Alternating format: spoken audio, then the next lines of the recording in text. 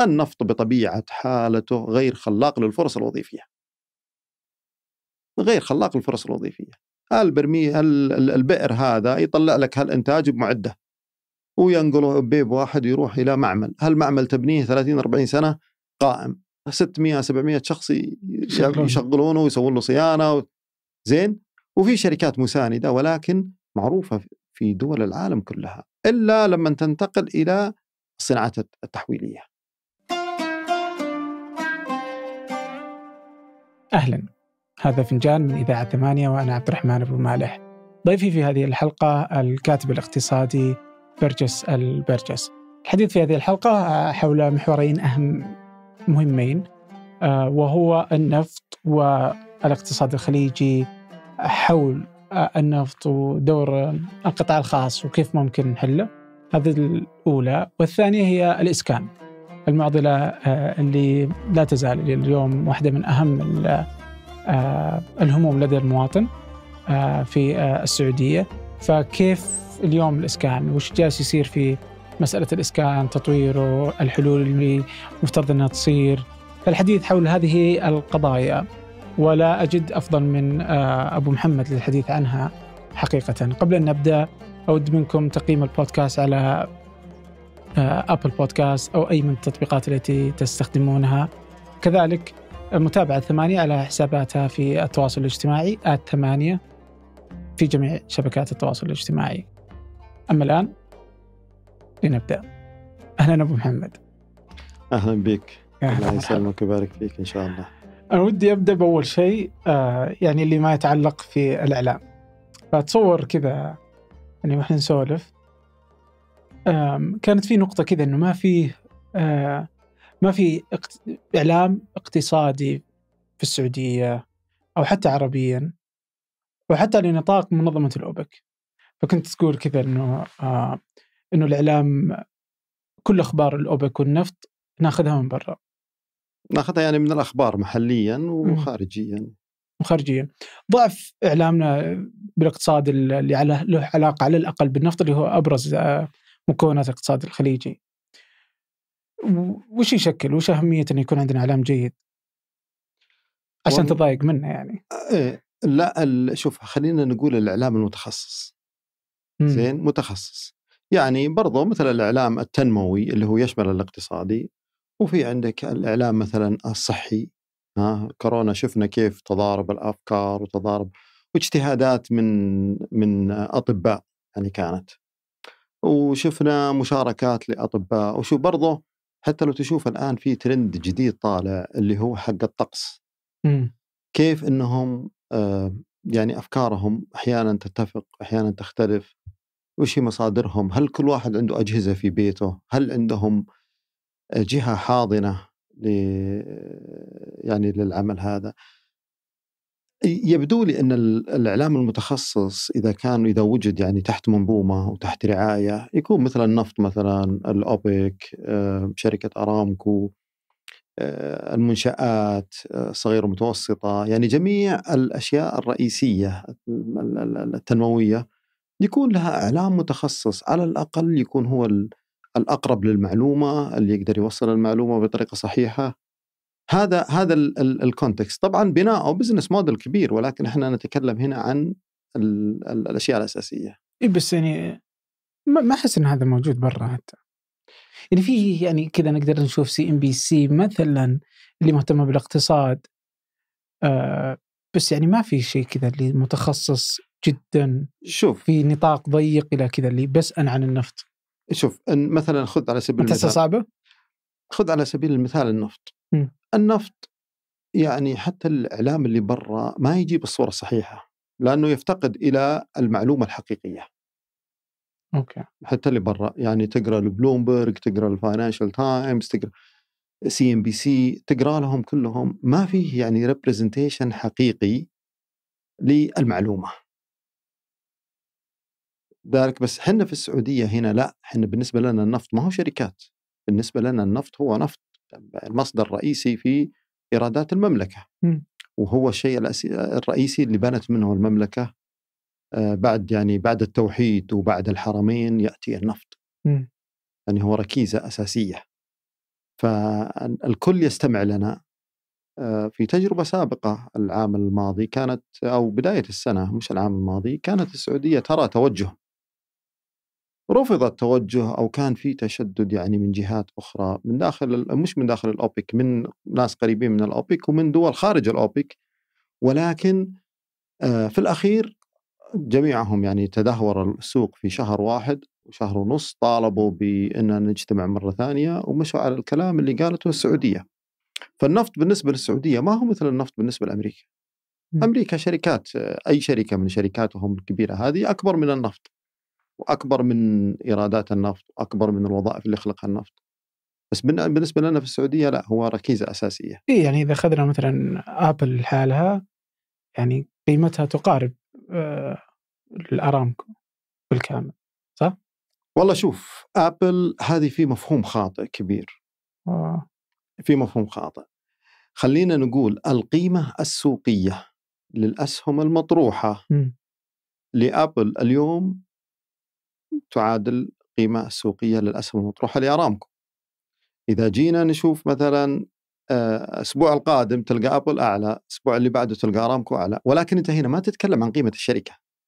أنت تتكلم عن القيمة السوقية. يعني خلينا نقول مثلا مثلا عندك كاش تبغى تشتري هذا الجزء اشتريته. ولكن هذا لا يمثل قيمة الشركة. نهائي. بس القيمه السوقية للشركة. بس بس ما يمثل قيمة الشركة. علشان مثلا قصدك إن السوق متضخم ولا إنه لا لا لا مش السوق متضخم. يعني مثلا مثلا شيل شيل قيمة شيل آبل وانقلها لبريطانيا. طاح نص قيمتها. الضرائب فأنت تأخذ القيمة بعد يعني تأخذ القيمة لأنه سعر السهم يعتمد على الضريبة. زين؟ لأن الضريبة هي جزء من المصروفات. فبالتالي لما تطرح المصروفات من الإيرادات يطلع لك الربح اللي هو أساسا يفترض أنه يقود سعر القيمة السوقية للشركة. فلو نقلته لو نقلت ابل آه، إلى بريطانيا ارتفعت الضريبة إلى أكثر من الضعف، نقصت نصف قيمة شركة ابل. السعودية نفس الشيء، السعودية هم الضرائب للنفط يعني آه، كون النفط ملك الأرض زين وضع النفط مثلا 50% لو لو لو الضريبة يعني 50% ولكن الطريقة السليمة لقراءة قيمة الشركة هو أن تنظر للأرباح قبل الضرائب. تسمى تسمى الأرباح قبل الضرائب الضرائب الأرباح بعد الضرائب. الارباح قبل الضرائب أرامكو ضعف قيمة أبل. ضعف قيمة أبل. زين؟ ولو تنظر للقيمة الحقيقية يعني ترى هم الآن أبل على أساس أنه مستقبلا هذه قيمتها. القيمة, لليوم هي قيمتها مستقبلا بعد 10 20 سنة. لكن لو تنظر للحقيقة الآن مثلا في أرامكو وسعر أرامكو فعلا يعني قبل قبل الضريبة لأن الضريبة أساسا تروح إلى خمس المالك اللي يملك 95% من الحصة اللي هي الحكومة السعودية. زين؟ فبالتالي يعني السعودية تربح من أرامكو من جهتين جهة الضريبة ومن جهة الأرباح لأن كونها كونها المالك ل 95% منها فأرامكو أكبر أكبر بكثير من من قيمة يعني القيمة السوقية أو أو القيمة الحقيقية لشركة أبل. خذ على سبيل المثال صافي الأرباح. صافي الأرباح زين ما قبل الضريبة أرامكو أكبر من الأربعة التريليونين الثانيين اللي هم أمازون. مايكروسوفت وأمازون وأبل وجوجل يعني هذول ما يصلوا إلى 175 مليار بينما ارامكو تتخطى 220 مليار الأربعة مجتمعين؟ الأربعة مجتمعين شايف؟ فقيمة أبل اليوم هي لقراءة مستقبلية دقيقة لو لو جينا الحين قلنا إنه نشيل ارامكو وناخذ الأربع شركات بتكون أفضل لو كان اقتصاد السعوديه يقوم على أربع شركات زي امازون وأبل وجوجل ومايكروسوفت ولا شركة واحدة زي رامكو؟ لا ما تقارن هي بالطريقة هذه. م. ما تقارن بالطريقة هذه. ال ال ال النفط آه، قائم على طول. يبقى إن شاء الله قائم يعني حتى تنتهي قيمة النفط. زين؟ أو ينضب النفط. أوكي. وهذا ما هو في المنظور الآن. يعني حتى مثلا في 2050 آه، بيكون عدد سيارات الكهربائية أكثر من عدد السيارات اللي موجودة اليوم. ولكن هذا بيكون نصف أعداد السيارات أو أقل من نصف أعداد السيارات. فتقريبا النفط يعني قيمته أو أو آه، الاعتماد عليه الاعتماد على النفط بيكون قائم ومستمر. لكن المشكلة فين بتكون؟ المشكلة بتكون عند الشركات اللي مثل أبل. لو طلعت شركة الآن توازي الأبل خلاص. صار السوق عليها أكثر. وشفنا شركات إلكترونية يعني آه، تقريبا آه، يعني شبه أقفلت الآن منهم نوكيا مثلا. زين؟ سامسونج الآن ينافس أبل وبقوة. آه، هواوي ينافس سيسكو وبقوة. وهو بال بال بالحقيقة بداية هواوي يقول لك أنا أقلد وأدفع الغرامات. يقلد الكود حقهم يكتبه نفسه م. ويدفع الغرامات ويمشي هذا الكلام في 2002 2003 الآن صار أصبحت دفع الغرامات غش منك ودفع الغرامات وكذا الآن ينافسك وعنده مبيعات أكثر منك. زوم أعلى من قيمة سيسكو. وهو تطبيق هو الشركات الإلكترونية ممتازة وتوفر وظائف بشكل كبير. وشركات ابتكارية. ولكن لا شيء يقارن يقارن بالنفط بصراحة. بس إني بتصور إنه برضو إذا أخذنا النفط على قراءة 2050 أحس إن قراءتك متفائلة تجاه إنه النفط لا يزال موجود ما وقتها بشكل جيد. إيه؟ ما يعني هي قراءتي. لا لا في النفط أنت ترجع إلى ثلاث أربع مصادر رئيسية هم أفضل أفضل مراكز البحوث. okay. زين؟ منهم اللي هي ال IEA. ال IE ال International Energy Agency في يعني تحت إشراف وزارة الطاقة الأمريكية. هذه القراءات هم يقرؤون استهلاك السيارات وعدد السيارات okay؟ والزياده في السكان. يعني كل الأشياء هذه تكون موجودة ومعمولة بالحسبان. في الأخير يطلعون أعداد السيارات. يعني عدد السيارات اليوم تقريبا 100 مليون مليار آه، سيارة. في 2050 راح يكون العدد آه، تقريبا أقل من 3 مليار بشيء بسيط. وراح يكون نصف السيارات اللي تنتج من الكهرباء والنصف الآخر بيعتمد على النفط. بالتالي استهلاك النفط في ذلك الوقت أكثر من استهلاكه الآن. هذه القراءات. يمكن يطلع شيء جديد بكرة وتغير معادلة كاملة. آه. زين؟ ولكن هذا اللي يعني هذه هي القراءات اللي إحنا نمشي عليها. إي بس إذا جينا نقول نشوف الشركات اللي جالسة تشتغل اليوم أغلب الشركات جالسة تتوجه إلى الطاقه الشمسيه والطاقه البديله حتى إن كل الدول آه، متفقة مع الأمم المتحدة على 2030 بتقليص آه، آه، الطاقه النفط والاعتماد على النفط آه، والذهاب إلى آه، الطاقة البديلة على كل مستويات آه، الدول والحكومات والشركات ومنها السعودية اللي متفقة نعم. في هذه الاتفاقيات. نعم. فكل الدول جالسة تتوجه إلى الطاقة البديلة. فإحنا ما نتكلم بس عن السيارات، ناخذها على كل النطاقات اللي تهم كذا البيئة والاستقرار وهذا اللي بيخلي الطاقة البديلة تصير سعرها أرخص سواء في البيوت والشركات المصانع. فإذا أخذنا سيارات بتكون أقل من اللي اليوم والشركات والمنازل وأغلب تشغيل الطاقة اليوم اللي هو ينتج عن طريق النفط بيصير أقل. لا شوف مما هو عليه اليوم. وإن كثر شوي. العميل الرسمي للنفط هي السيارات. يعني الغالبية العظمى العظمى العظمى الكبيرة يعني أكثر من 95% هي للسيارات بأنواعها. بنزين 95% 95% يس. من استهلاك النفط للسيارات؟ إيه إيه. إيه. هذا يعني بال بال بالعالم كله كامل. زين؟ ما تجد يعني مثلا مثلا على سبيل المثال خلينا ناخذ لك شيء آه، هو صحيح سيكون مثلا خلينا نفترض إنه نصف السيارات مثلا في السعودية أو عالميا نفس السعودية نصف السيارات بيكون اعتمادها على الكهرباء. زين؟ ولكن عدد السيارات اللي تستهلك الكهرباء في ذلك الوقت وعدد السيارات اللي تستهلك الوقود الاحفوري في ذلك الوقت أكثر من عدد السيارات اليوم. ب 2050 ب 2050 يعني تتكلم عن حدود 3 مليار سيارة. بس إذا أخذناها من جانب عجيب أحس إني ما ما أتفق. يعني أجي يعني كذا ما أدري شلون لا لا لا يعني إذا أخذناها إنه آه، تسلا وشركات التقنية دخلت في سوق السيارات والسيارات التشاركيه زي أوبر وغيرها اللي بتتخلص وتصير في سيارات ذاتية القيادة. هذه بتقلص عدد السيارات الموجودة في السوق لأنها بتصير خلاص السيارات ذاتية القيادة لا لا أنت الآن. ما أنت الآن ما عندك تشبع بالسيارات. فحتى في دراسات تقول إنه تملك الناس للسيارات سيكون أقل. بس أنت أنت اليوم ما عندك تم... يعني ما عندك تشبع في أعداد السيارات. يعني شوف الهند والصين اللي هم ثلث العالم من كل ألف ما في إلا تقريبا 20 واحد اللي يسوق سيارة اللي يمتلك سيارة. وزحمة. وكلهم إي وكلهم طبعا زحمة لأنهم هم هم مجموعهم مليارين ونصف ومليارين 600 مليون. وكلهم الآن عندهم هجرة إلى المدن. فبيصير اعتماد كبير على السيارة في الهند والصين. بشكل كبير.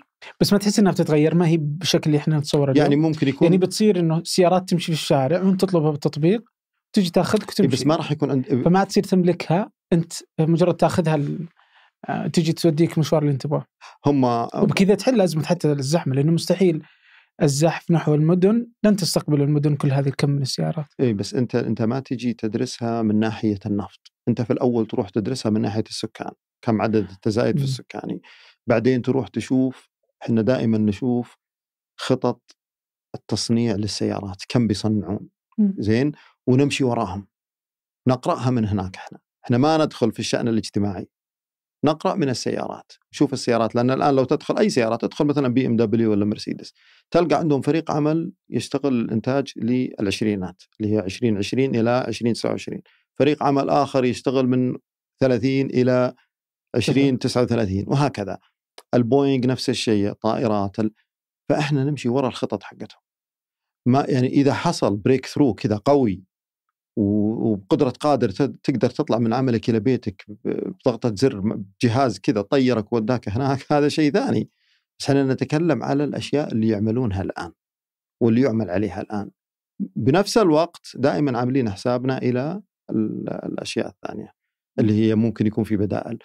ولكن بنفس الشيء مهم إنه إحنا لازم ننتبه له إنه السعودية وضعها خاص يختلف.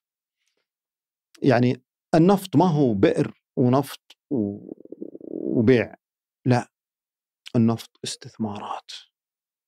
وما في أحد ما في شركات يعني كل المنافسين ما عندهم الاستثمارات القوية اللي تعملها يعني مثل شركة أرامكو. من تقصد المنافسين؟ يعني كل الدول المصدرة من داخل أوبك. زين؟ وطبعا أتكلم لأنه أنتم مين البارتنر حقك؟ فنزويلا وروسيا و الكويت الإمارات. الكويت. لا يعني الكويت والإمارات يعني قريبين منا. زين؟ قريبين منا. ما هم مثل السعودية لكنهم قريبين.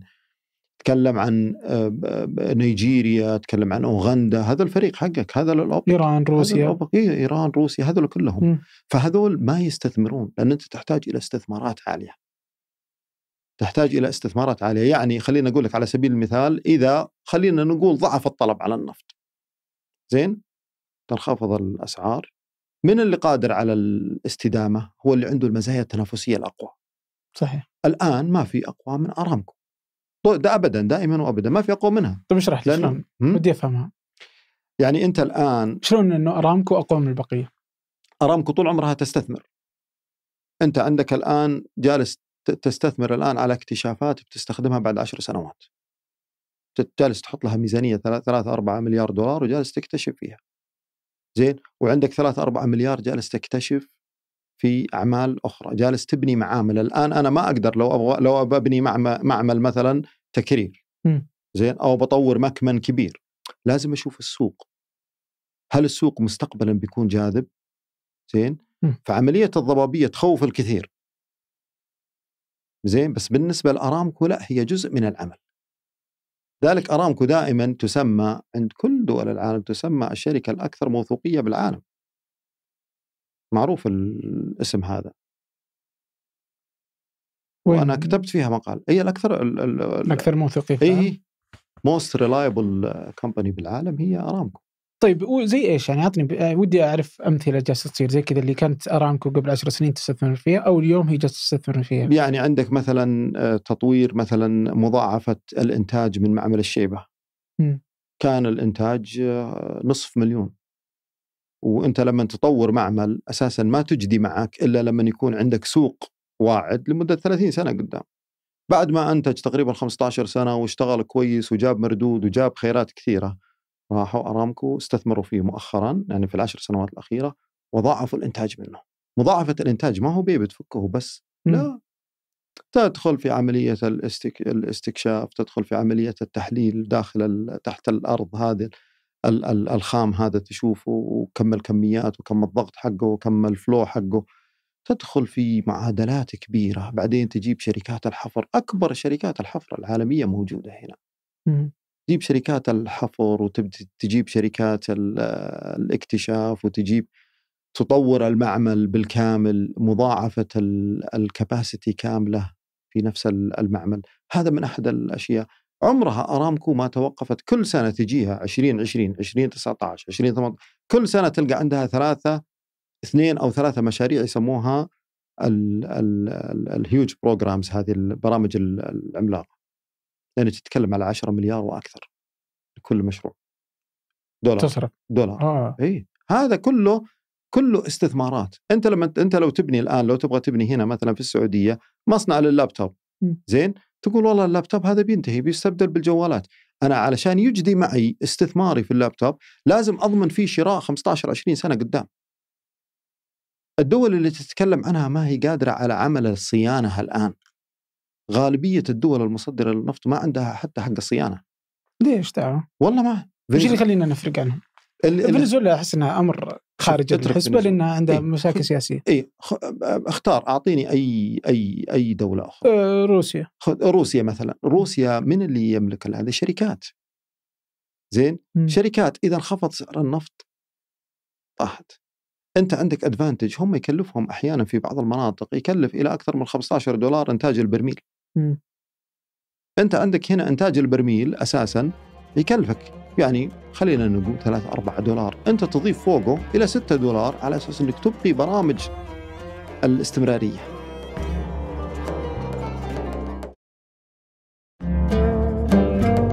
طب إذا هذاك مثال بعيد. وإنه هي شركات خاصة و ترى على فكرة. بشكل مختلف. دول الخليج أحس إنها تشبهنا تماما. شوف دول الخليج آه، يعني عندك الإمارات والكويت تقريبا هي اللي هي اللي هي اللي ماشية معك بالخط. بس الإمارات والكويت برضو هي هي صغيرة. يعني إنتاجها ما هو ما هو كبير. زين أنت تقدر تطلع إلى 12 أو أكثر من 12 وممكن يعني لو تبغى تعمل تطلع إلى أكثر من 12 مليون برميل يوميا. الإمارات والكويت مع البرامج الجديدة والخطط المستقبلية يا دوب يطلعون ل 4 مليون.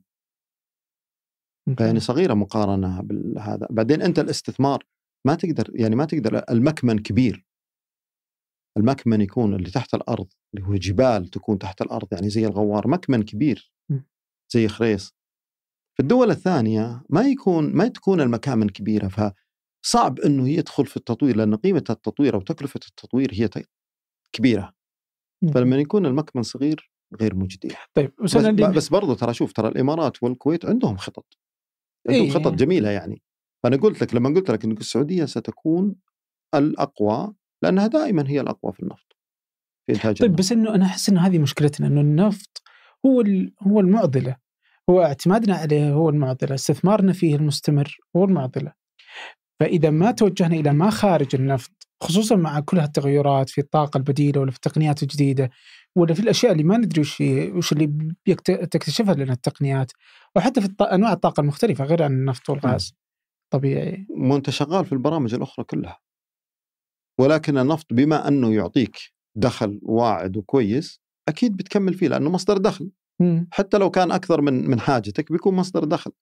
ولكن المملكة عندها برامج الصناعات عندها برامج الطاقة الشمسية أو الطاقه من الرياح المتجددة عندها برامج أخرى كثيرة. بس إلى الآن النهج حقنا ما بدأ يقترب إلى الدول التي تعتمد على صناعة الإلكترونيات، صناعة البرمجيات، الأشياء هذه اللي هي تتطور بشكل كبير. وش اللي مانعنا؟ آه عدة عوامل بس العامل الأكبر الأكبر الأكبر المستثمر يعني أنت الآن وين المستثمر؟ وش اللي يمنع أنك أنت ما تجي تنتج تنتج لك آه، تروح عند أبل تقول تعال أنا على الأقل أبغى أصنع جوالاتكم يعني الأيدي العاملة في الصين لا تقارن بالأيدي العاملة. الأيدي العاملة ميزة واحدة. تعال أنا وياك نروح لأي محل الآن يبيع مكيفات. تلقى مكيف صيني مكيف كوري مكيف ياباني مكيف كل المكيفات موجودة. السيارات كل شيء له زبون. زين؟ ال- ال- ال- ال- الأيدي العاملة هناك غالية. الأيدي العاملة في صناعة السيارات في أمريكا 30 دولار بالساعة في ألمانيا 60 دولار. ما فشلت ألمانيا بالعكس بل تقدمت أكثر وأكثر. إي بس وش يخلي ألماني تجي؟ طيب ومن تقصد أنت في المستثمر؟ عشان أرجع نفس السؤال. القطاع من- الخاص القطاع الخاص القطاع الخاص. في طبعا أنا أرى أن هويته ستتغير. هل هو موجود أصلا؟ أنا أتذكر في حلقة سابقة مع عمر الشهابي. مم. فكان يتكلم إنه أصلا الخليج القطاع الخاص مشوه. لا يوجد قطاع خاص يعني صدق. هي شركات عائلية إيه. والباقي حكومة. شوف ال- القطاع الخاص في السعودية آه، هو مبدع في الأعمال الخدمية بشكل جيد وإحنا نحتاج لها. جميع الأعمال. زين؟ صيانة المطار عقود ال- ال- ال- ال- ال- السيفل اللي هي ال- المشاريع آه، بناء المقاولات آه، تكلم عن آه، جميع الأعمال الخدمية الأعمال الخدمية بطبيعتها تعتمد على العمالة الأجنبية الأجنبية. وحتى الرخيصة الرخيصة مم. بالتحديد الرخيصة ولذلك دائما تلقى الشكاوي يقول لك يتشكى من الرسوم ومن الرسوم ليش؟ مم. لأنها تعتمد على العماله الرخيصة إيه.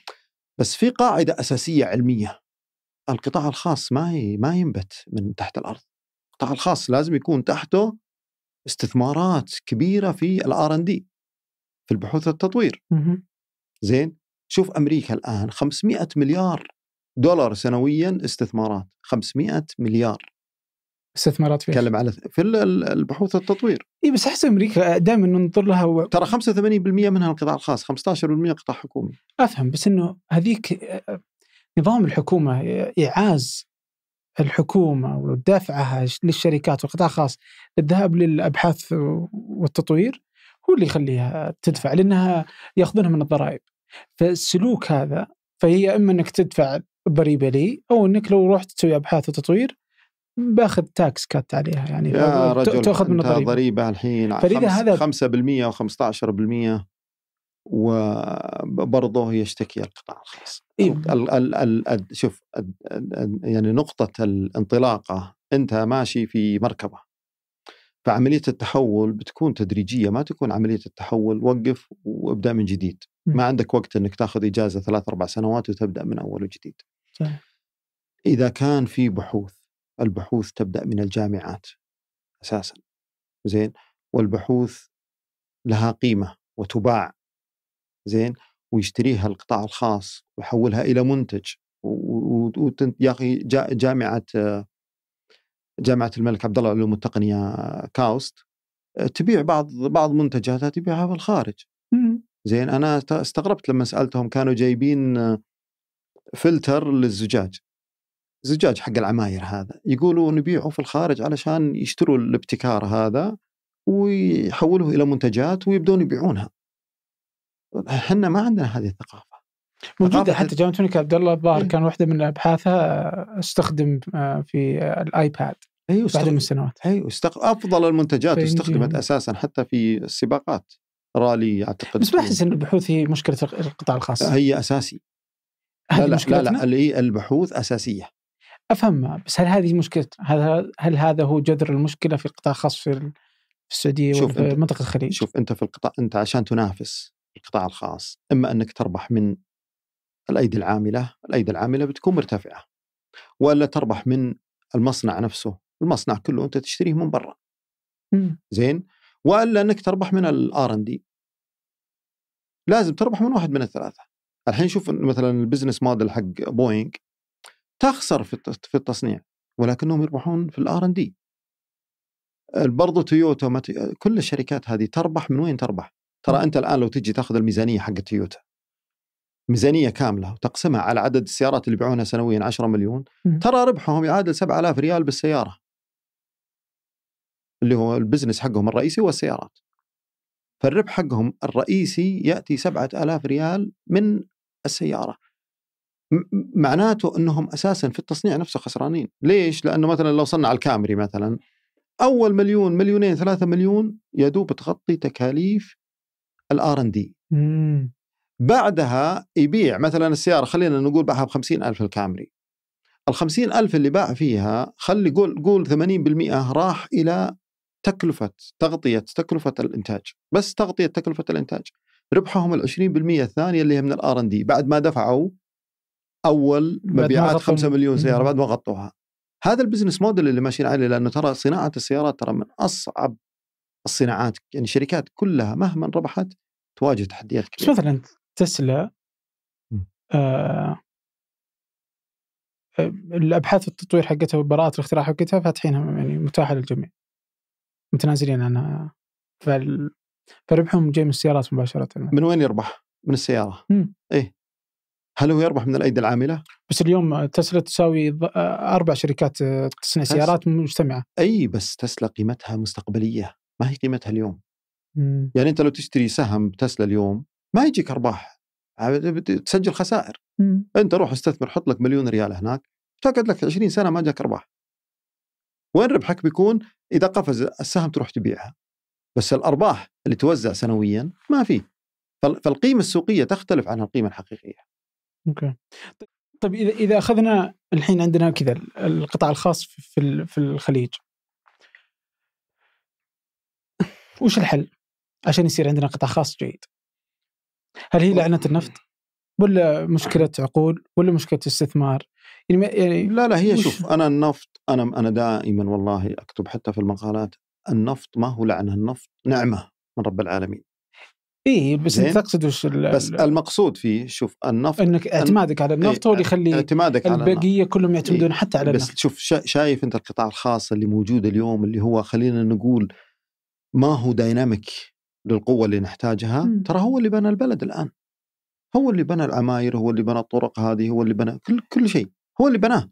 البنوك. فعله. شايف البنوك؟ إحنا ما نحب البنوك صح؟ زين؟ يعني الش... الرأي العام ما يحبون بس صح. البنوك هو اللي مول كل شيء. كل إيه شيء هو اللي موله. بس أنت ملاحظ يعني مثلا لو جينا ناخذ مثلا أي شركة. اليوم شركات تطوير عقاري منتعشة. بس ليش؟ لأن في يعني الحكومة اللي تشغلهم. القطاع الخاص الحكومة اللي تشغلهم صح ولا لا؟ إيه شوف ترى إحنا فهي هذه هذه المعادلة اللي أحس إنها المشكلة فيها إحنا نعيش تضخم غير محسوس ولا هو رسمي تضخم مثلا عندك من الاعوام السابقة م. يعني في العقد هذا نستثمر كثير على المشاريع من إيرادات النفط. أنت ما ارتفعت قيمة الريال ولكن قوة الاستثمارات سوت عندك ارتفاع في الأسعار أنعش الأسواق. ممتاز. فانتعشت الأسواق، يعني القطاع العقاري ترى القطاع العقاري ما هو يعني حرفة وشطارة وكذا.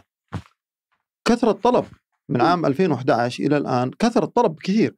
وكلها من جهة واحدة. الحكومة إي طبعا كل يعني شيء يعني متى ما توقفت الحكومة عن الصرف لا مش متى لا لا شوف برامج الحكومة إذا تقرأها جيدا هي تدعمك الآن إلى أن تبدأ تحلق. لما تبدأ الكروز تبدأ الحكومة تبدأ آه يعني يعني يعني لن تكون الأب الرعوي دائما للقطاع الخاص. هذا الشكل الأمثل. إيه. الشكل الأمثل ال ال ال بطبيعة الحال يعني بطبيعة الحال إحنا خلينا نخمن إنه كذا. زين؟ فوالدك في البيت ما راح يبدأ يدعمك ويقول لك لا تدرس أنا بدعمك وخليك دائما آه، في التجارة وفي كذا لا بيقول لك ادرس وتعلم وابني وأنا معك. هذه البرامج الحكومية الآن ومنعكسة الآن على الأرقام. كيف؟ يعني أنت لو تشوف مثلا منشآت الصغيره المتوسطه آه، أنت عندك منشاه صغيرة متوسطة تروح للبنك تقول أو أي شركة تمويل تقول أنا أبغى تمويل والله أنا عندي شركة جديدة ولا عمرها سنة سنتين فيقول لك والله سوري ما نقدر نضمن إنه ترجع لنا الفلوس. يعني صح. الجدوى عندك ما هي ما هي واضحة ولا هي قوية حتى الثقافة عندنا ما نقدر نقرأ من الجدوى مدى نجاح إحنا نلعب على المضمون. ما أعطيك فلوسي إلا أنا أضمنك. فبالتالي أوجدت تحت يعني مظلة الدولة برنامج كفالة. هذا تبع منشات إيه. برنامج كفالة في ال 15 سنة الماضية أعطى 18 مليار 18 مليار أعطاها للممولين يكفل منشات صغيرة ومتوسطة. ال 18 مليار كفلت كم؟ 30 مليار. يعني المنشآت أخذت 30 مليار. من 18 مليار ضمانات قدمتها كفالة قدمتها الحكومة يعني تقريبا إلى الشركات.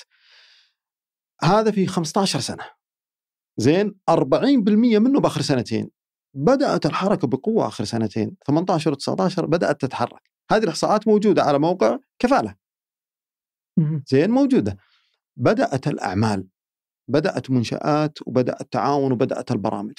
هل في دراسة تقول أو أرقام آه، تقول وين آه، المنشآت الصغيرة والمتوسطة الجديدة؟ في أي قطاع جالسة تنمو؟ والله شوف يعني هو في قطاع تنمو في قطاع ولكن الوظائف اللي فيها ما هي بالوظائف اللي نطمح فيها. يعني عندك مثلا قطاع الفود والش اسمه الكافيه والفود والمطاعم بشكل كبير. حتى تشوف بتقارير مؤسسة النقد تشوف المصاريف زادت. يعني المبيعات والمشروبات المبيعات المبيعات ارتفعت. يعني في خلال ثلاث سنوات ارتفعت ثلاثة أضعاف. طلعت من 9 إلى 30 مليار. زين؟ يعني هذا مبلغ آه، كبير صحيح إنه الكثير بدأ يعتمد على الاتمته بس حنا ترى بنفس الوقت جالسين نرفع ولكن بنفس الوقت جالسين نسحب إلى تحت اللي هو ضريبة عملية التنظيف من التستر. زين؟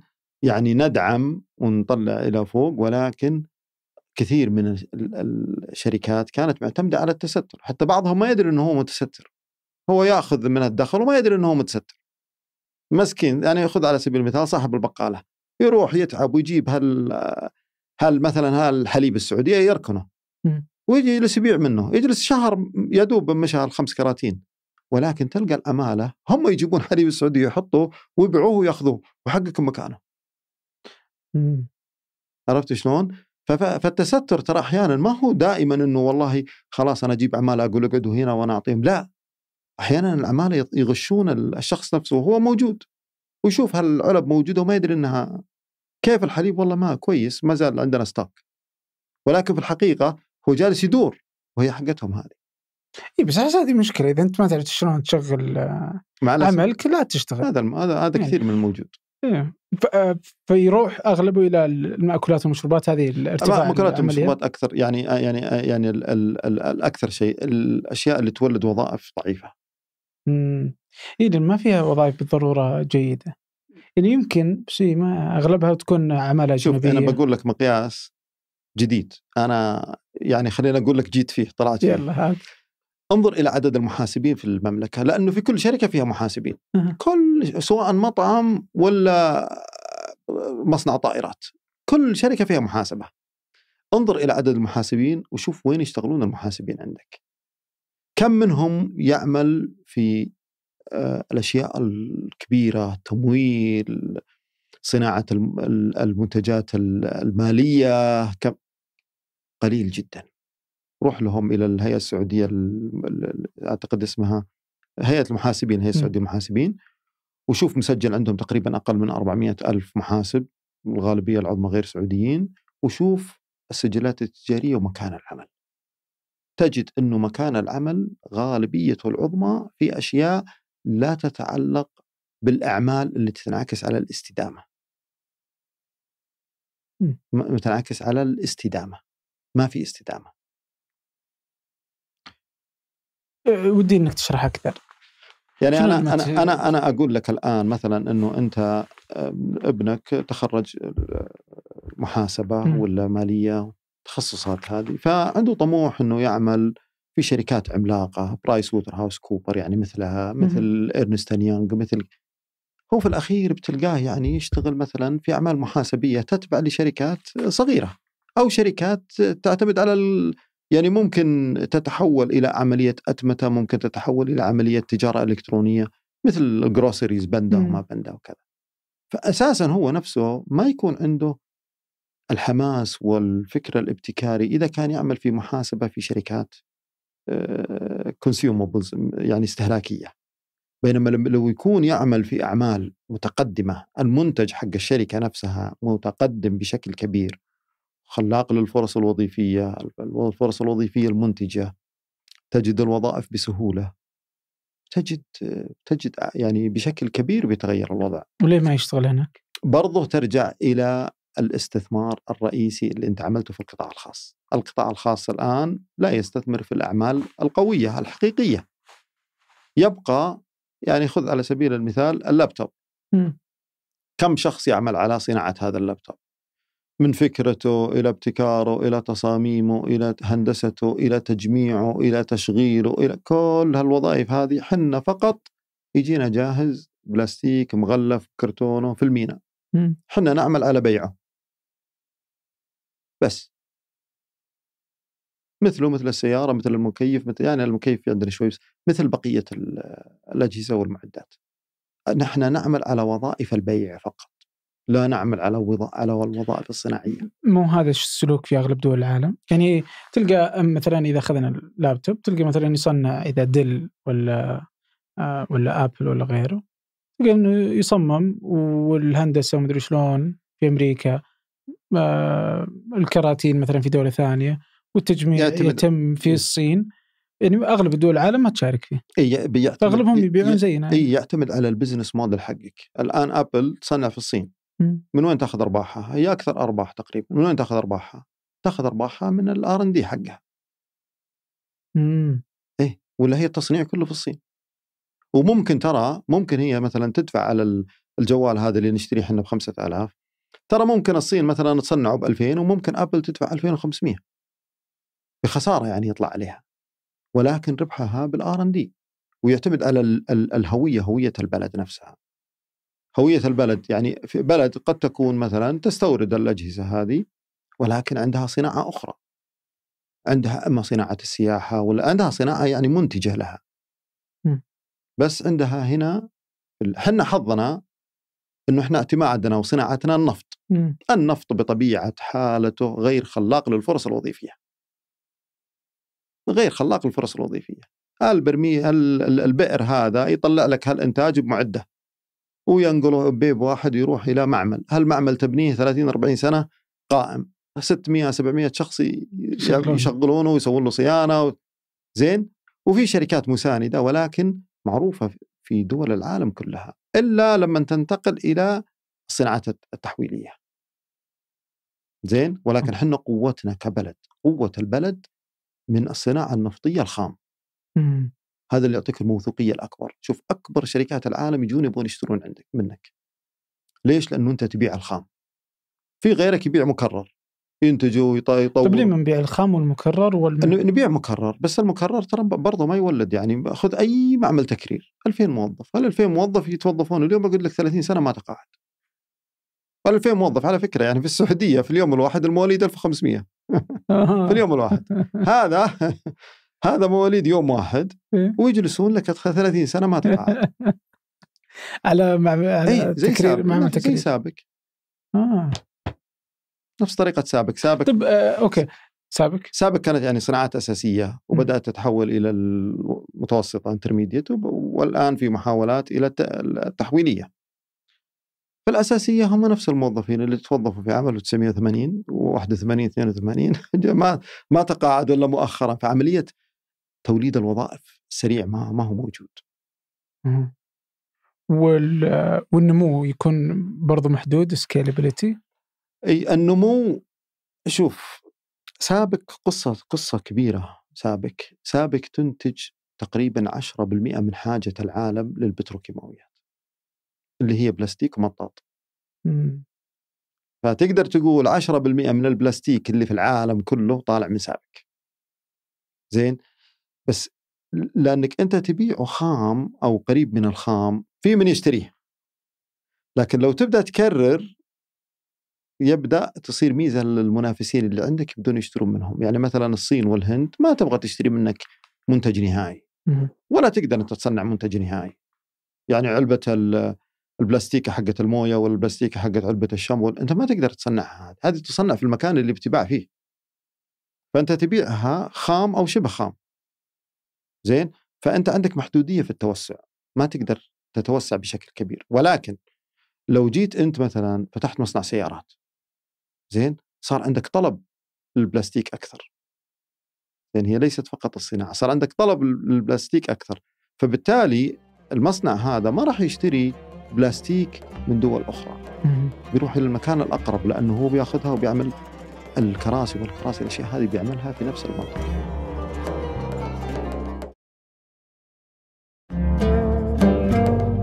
طيب ودي أعلق على مقالة آه، مقالة تنويع مصادر الدخل والحلقة المفقودة. م. فتقول إن مبيعات الزراعة للداخل وعوائد السياحة من سواح الداخل لا تعتبر تنويعا لمصادر الدخل. لأن المشتري يحصل على راتبه من دخل النفط. أوكي أنا ما أتذكر والله وش وش اللي أنا كنت أقوله هنا وأقصده هنا ولكن أنا مقالة يمكن قديمة بعد. بس, بس إني أحس إن السياحة الداخلية إيه؟ لا يعني السياحة جزء مهم. السياحة يعني على الأقل فلوسنا ما تطلع. بس السياحة الآن تختلف عن السياحة في السابق. وش الفرق؟ الفرق ال ال ال ال ال الأموال الأموال كانت مثلا تأخذها هنا المعلم يأخذ راتب يروح يصرف على السياحة. زين؟ فأنت علشان تبني له بنية تحتية بتكون مكلفة. ولكن الآن الاستهداف أيضا من السياحة الخارجية إنهم يجون هنا فتغيرت المعادلة. أوكي. تغيرت تشوف اليوم إنه نقدر إيه؟ آه. التنوع. يعني إحنا في السياحة وين كنا نستهدف؟ كنا نستهدف شوية في الآثار. كنا نستهدف المحلات السياحية على شواطئ البحار وكنا نستهدف الطقس والأجواء اللي في المنطقة الجنوبية. الآن لا الآن تكاملية. أصبحت تكاملية على ستاندرد عالمي. يعني اللي بيكون موجود في مشاريع البحر الأحمر. زين؟ مشاريع البحر الأحمر ومشاريع نيوم هذه بتكون على المستويات العالمية. يعني السائح بيكون عنده الخيارين أروح هنا ولا أروح هنا. ما هو زي السائح اللي يقول أروح هنا ولا أروح هنا. لا الآن كلهم نفس المستوى. زين؟ فتغيرت المعادلة في الخمس سنوات الأخيرة بعد الرؤية تغيرت المعادلة بالكامل. طيب آه، من الأشياء اللي تكلمت أنت عنها هي الخصخصة واللي تهدف لها الرؤية. كنت تقول إنه آه إنه هذا تشيد به كمحرك للاقتصاد القطاع الخاص لكن إنك تحذر من إنه أول الضحايا في الخصخصة هو متوسط رواتب الموظفين والذي سينخفض إلى أكثر من النصف. ومن ثم الجودة والكفاءة. م. هل هذا اللي جالس إيه. يصير اليوم؟ لا المقال هذا على النمط السابق. مفهوم الخصخصة هو الإسناد الخارجي أو التعهد الخارجي، م. تعال شغل لي هالمنشأة، تعال شغل لي هالمطار، تعال شغل لي الأشياء هذه. كانت بستاندرد آه، يعني مختلفة. الآن لا، الآن تدخل المطار كأنك داخل مول. طيب وش اللي كان أول؟ خلينا نفهم أول، وش اللي كان الشكل الأول وش الشكل الان؟ ما كان في شكل أول يعني كان عندنا تجربتين أو ثلاثة في السابق. م. زين؟ وكانت تجربة يعني أساسا ناجحة قبل ما تبدأها مثل الاتصالات. م. زين؟ ولكن ال ال لو لو جيت أنت وعملت خصخصة إلى مستشفى على طول يصير عندك دروب في الراتب. زين؟ لأن أنت خلاص الشركة هذه بتأخذ العقد حقك وبتعطيك راتب. م. وما راح يكون مثل الأمان الوظيفي الحكومي. الآن لا. لو تجي إلى المفاهيم الخصخصة أنها تكون بمعايير أقوى من أنها في الوظيفة الحكومية، الآن المفهوم الحقيقي للخصخصة اللي راح يصير أنه تخصخص لكي تفتح مجال للتطوير أكثر. يعني مستشفى التخصصي هذا بيكون إذا إذا خصص يعني إذا إذا إذا تحول إلى شركات بيكون اعتماد لهم أيضا على بيع البحوث والتطوير. وعلى تحويل البحوث والتطوير إلى آليات وإلى أعمال أساسية تدخل جزء جزء من المنظومة. إيه يعني أحس إن اليوم مثلا جالس يختلف حتى يعني أغلب الشركات اللي يعني إذا هنا أنت آه، يعني أحس في ذا المقالة يعني كذا وأنا اقرا إن الرواتب تنخفض أحس إن الحين عندنا مشكلة هي الرواتب المرتفعه. اليوم رواتب يعني في السقف بس كذا رواتب إيش اللي في السقف؟ رواتب الشركات أنا أو الجهات اللي خصصت فاليوم الشركات شبه الحكومية أو حتى الشركات رواتب عاليه جدا شوف يعني. مفهوم الخصخصة إنه أنت أنت فهي لم تنخفض بالعكس ارتفعت يعني أنا بشتغل أنا بشتغل عندك. زي المفهوم الخصخصة الحقيقي. م. أنت ما عندك مانع تضاعف راتبي 10 مرات. لو أدخل عليك المكتب أقول لك أنا أبغاك تضاعف راتبي 10 مرات. تقول لي أنت مقابل إيش؟ إذا أقنعتك تضاعفه 10 مرات. لأن هذه هي الخصخصة. ما في سلم رواتب و... وأعمال لا الآن في في القطاع الخاص مثلا معروف عندنا في القطاع الخاص سلم الرواتب. في مدارس خاصة مفهوم المدارس الخاصة الرواتب متدنية ولكن في مدارس خاصة تعطي رواتب أكثر من 25000 زين ومحدودة جدا ووظائف محدودة. ولكن لأن المدرسة هذه جالسة تبيع جودة جالسة تبيع منتج نهائي حقيقي. يدخل الطالب يدرس فيها من أول ابتدائي إلى ثانوي يتخرج من الثانوي كأنه متخرج من الجامعة فكر ولغة و...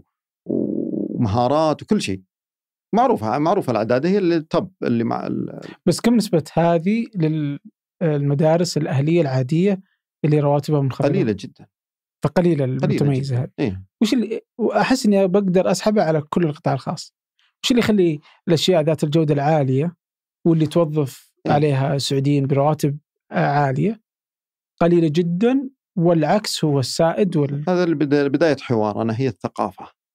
ثقافة القطاع الخاص. القطاع الخاص كثير منه يرى أن المدرسة م. عنده فلوس يبغى يستثمرها. م. استأجر بيت وحط فيه فصول وجاب مدرسين وجاب استوفى حد الادنى للسعوده وبدأ يضغط على المصاريف ويتابع التحصيل. ادفعوا ادفعوا الرسوم. هذا هو الهدف. الناس اللي يدرسون أولادهم هناك يدرس اولاده هناك علشان يأخذ يعني مرونة أكثر في في الغيابات، عدد طلبه أقل، ما في زحمة عند المقصف، ما في عملية ال ال يعني ال الأشياء اللي موجودة في المدارس الخاصة. يبغى يعتقد أنها برستيج أفضل. زين؟ ولكن في الحقيقة آه، هي مدرسة التعليم في المدرسة الحكومية أفضل منها. هذا الغالبية وكيف نعرف الأشياء هذه؟ تنعكس على اختبارات القدرات. تنعكس في اختبارات القدرات. بس المدارس اللي نتكلم عنها أنا ما ودي أذكر أساميها هذه إيه. المدارس عندنا في مثلا في الرياض في الدمام في جدة ومناطق أخرى هذه المدارس تخرج لك الطالب بالثانوي جاهز للعمل يعني يعني مثلا الطلبة مثلا مدارس عندنا في الظهران ليست مدارس الظهران في مدينة الظهران مع المدارس الظهران إيه بما فيها الظهران يعني الظهران من أفضل المدارس اللي. هذه المدارس إيه. تخرج الطلبة ما يروحون لجامعة البترول يروحون لأمريكا ليش؟ لأنه يقول لك أنا عندي قدرة إني أجتاز السنة التحضيرية، ليش تجبرني على الجلوس في السنة التحضيرية؟ فأنا بروح برا مش حبا لبرا ولكن علشان الأربع سنوات أستطيع أن أختصرها بثلاث سنوات ونصف. فليش أنا أجلس أدرس سنة تحضيرية؟ أدخل أدرس الأشياء الأساسية في اللغة. وأنا جالس أدرسها طول عمري. يجتازون اختبارات ما أدري إيش أسامي الاختبارات الآن بس أنا الأيام زمان مثلا كان المقياس التوفل يجتازون اختبار التوفل في ثاني ثانوي أول ثانوي. إيه هذه نقطتي أحس إن هذه مشكلتنا في في القطاع الخاص السعودي هي إنه أغلب ال... أغلب الشركات يعني لا تكاد تذكر إلا يمكن شركتين ثلاثة هي اللي تقدر تصدر برا. يعني كذا الشركات الباقية ضعيفة جودة هزيلة آه، يعني كذا اللي قطاع خاص يعني عبء على على الدولة وعلى البشرية وعلى الكوكب. هي الثقافه خلينا نتكلم بس ثقافة من إذا؟ شوف ثقافة التاجر وثقافة المستهلك. أنا الآن مستهلك. م. زين؟ ابجي يا أخي واعرض لكم بضاعتي على مثلا سناب ولا تويتر. أبي تدعمونها؟ ما حد يدعمها. حلو. زين صح ولا لا؟ إيه. طب التاجر الآن التاجر آه، تجي لكبار التجار تلقاه يجيب منتج جاهز. مثل مثل ما أبغى أقول اساميهم مثل المحلات الكبيرة اللي تبيع الأثاث هذه مثلا. ليش هو يغلب نفسه ويسوي له brand ويسوي ويصنع ويجيب من الصين ويجيب من كل دول العالم؟ لا. أروح أسوي franchise مع الشركات الكبيرة وأبدأ أبدأ من عندي أنا عرفت شلون؟ أبدأ يصير يصير دوري هو البيع فقط وليس الإضافة القيمة المضافة طيب كيف تشوف دور منشآت في حل هذه المسألة؟ تحس لهم دور يذكر منشآت هي على المنشآت الصغيرة المتوسطه يعني ما تتكلم عن الشركات الكبيرة والعملاقة. إيه، الشركات الكبيرة والعملاقة يعني هم كلهم خمسة ستة وأغلبها لا والله من... كثير. الكبير الكبيرة والعملاقة ما هي أكثر من خمسة ستة ولكن يعني أغلبها من الضخامة الكبيرة في الشركات المتوسطة. إي تشكل منش... 94% من الشركات منشآت. صغيره متوسطه إي منشآت. أنا الغالبية الصغيرة المتوسطة. إيه؟ الغالبية الصغيرة. الغالبية بعد حتى الصغيرة جدا متناهية الصغر إيه بعدين الصغيرة بعدين المتوسطة. بعدين الكبيرة بعدين العملاقة. أوكي. فهم تقريبا أتوقع إنهم آه صغير متوسط. إنهم يشكلون ما خم... نسبة 95% من الشركات. بالأعداد يعني؟ إيه يعني اللي ت... تجي تحت آه منشآت. شوف كأعداد لسجلات تجارية لا هم الصغيرة المتوسطه أكثر من 95% كم يشكلون من الدخل القومي؟ والله ما ما أعرف بالضبط آه، آه، ماني ماني مركز مستهدفات الرؤية إني أتذكر أن مستهدفات الرؤية أنا إنها شوف تزيد من من, من أهم الصغير. المعايير اللي هو هو هو معيار مهم في ال contribution داخل الناتج المحلي الإجمالي. أنا سبحان الله ما حبيت المعيار هذا ولا أدخل فيه والله ما أركز عليه ليه؟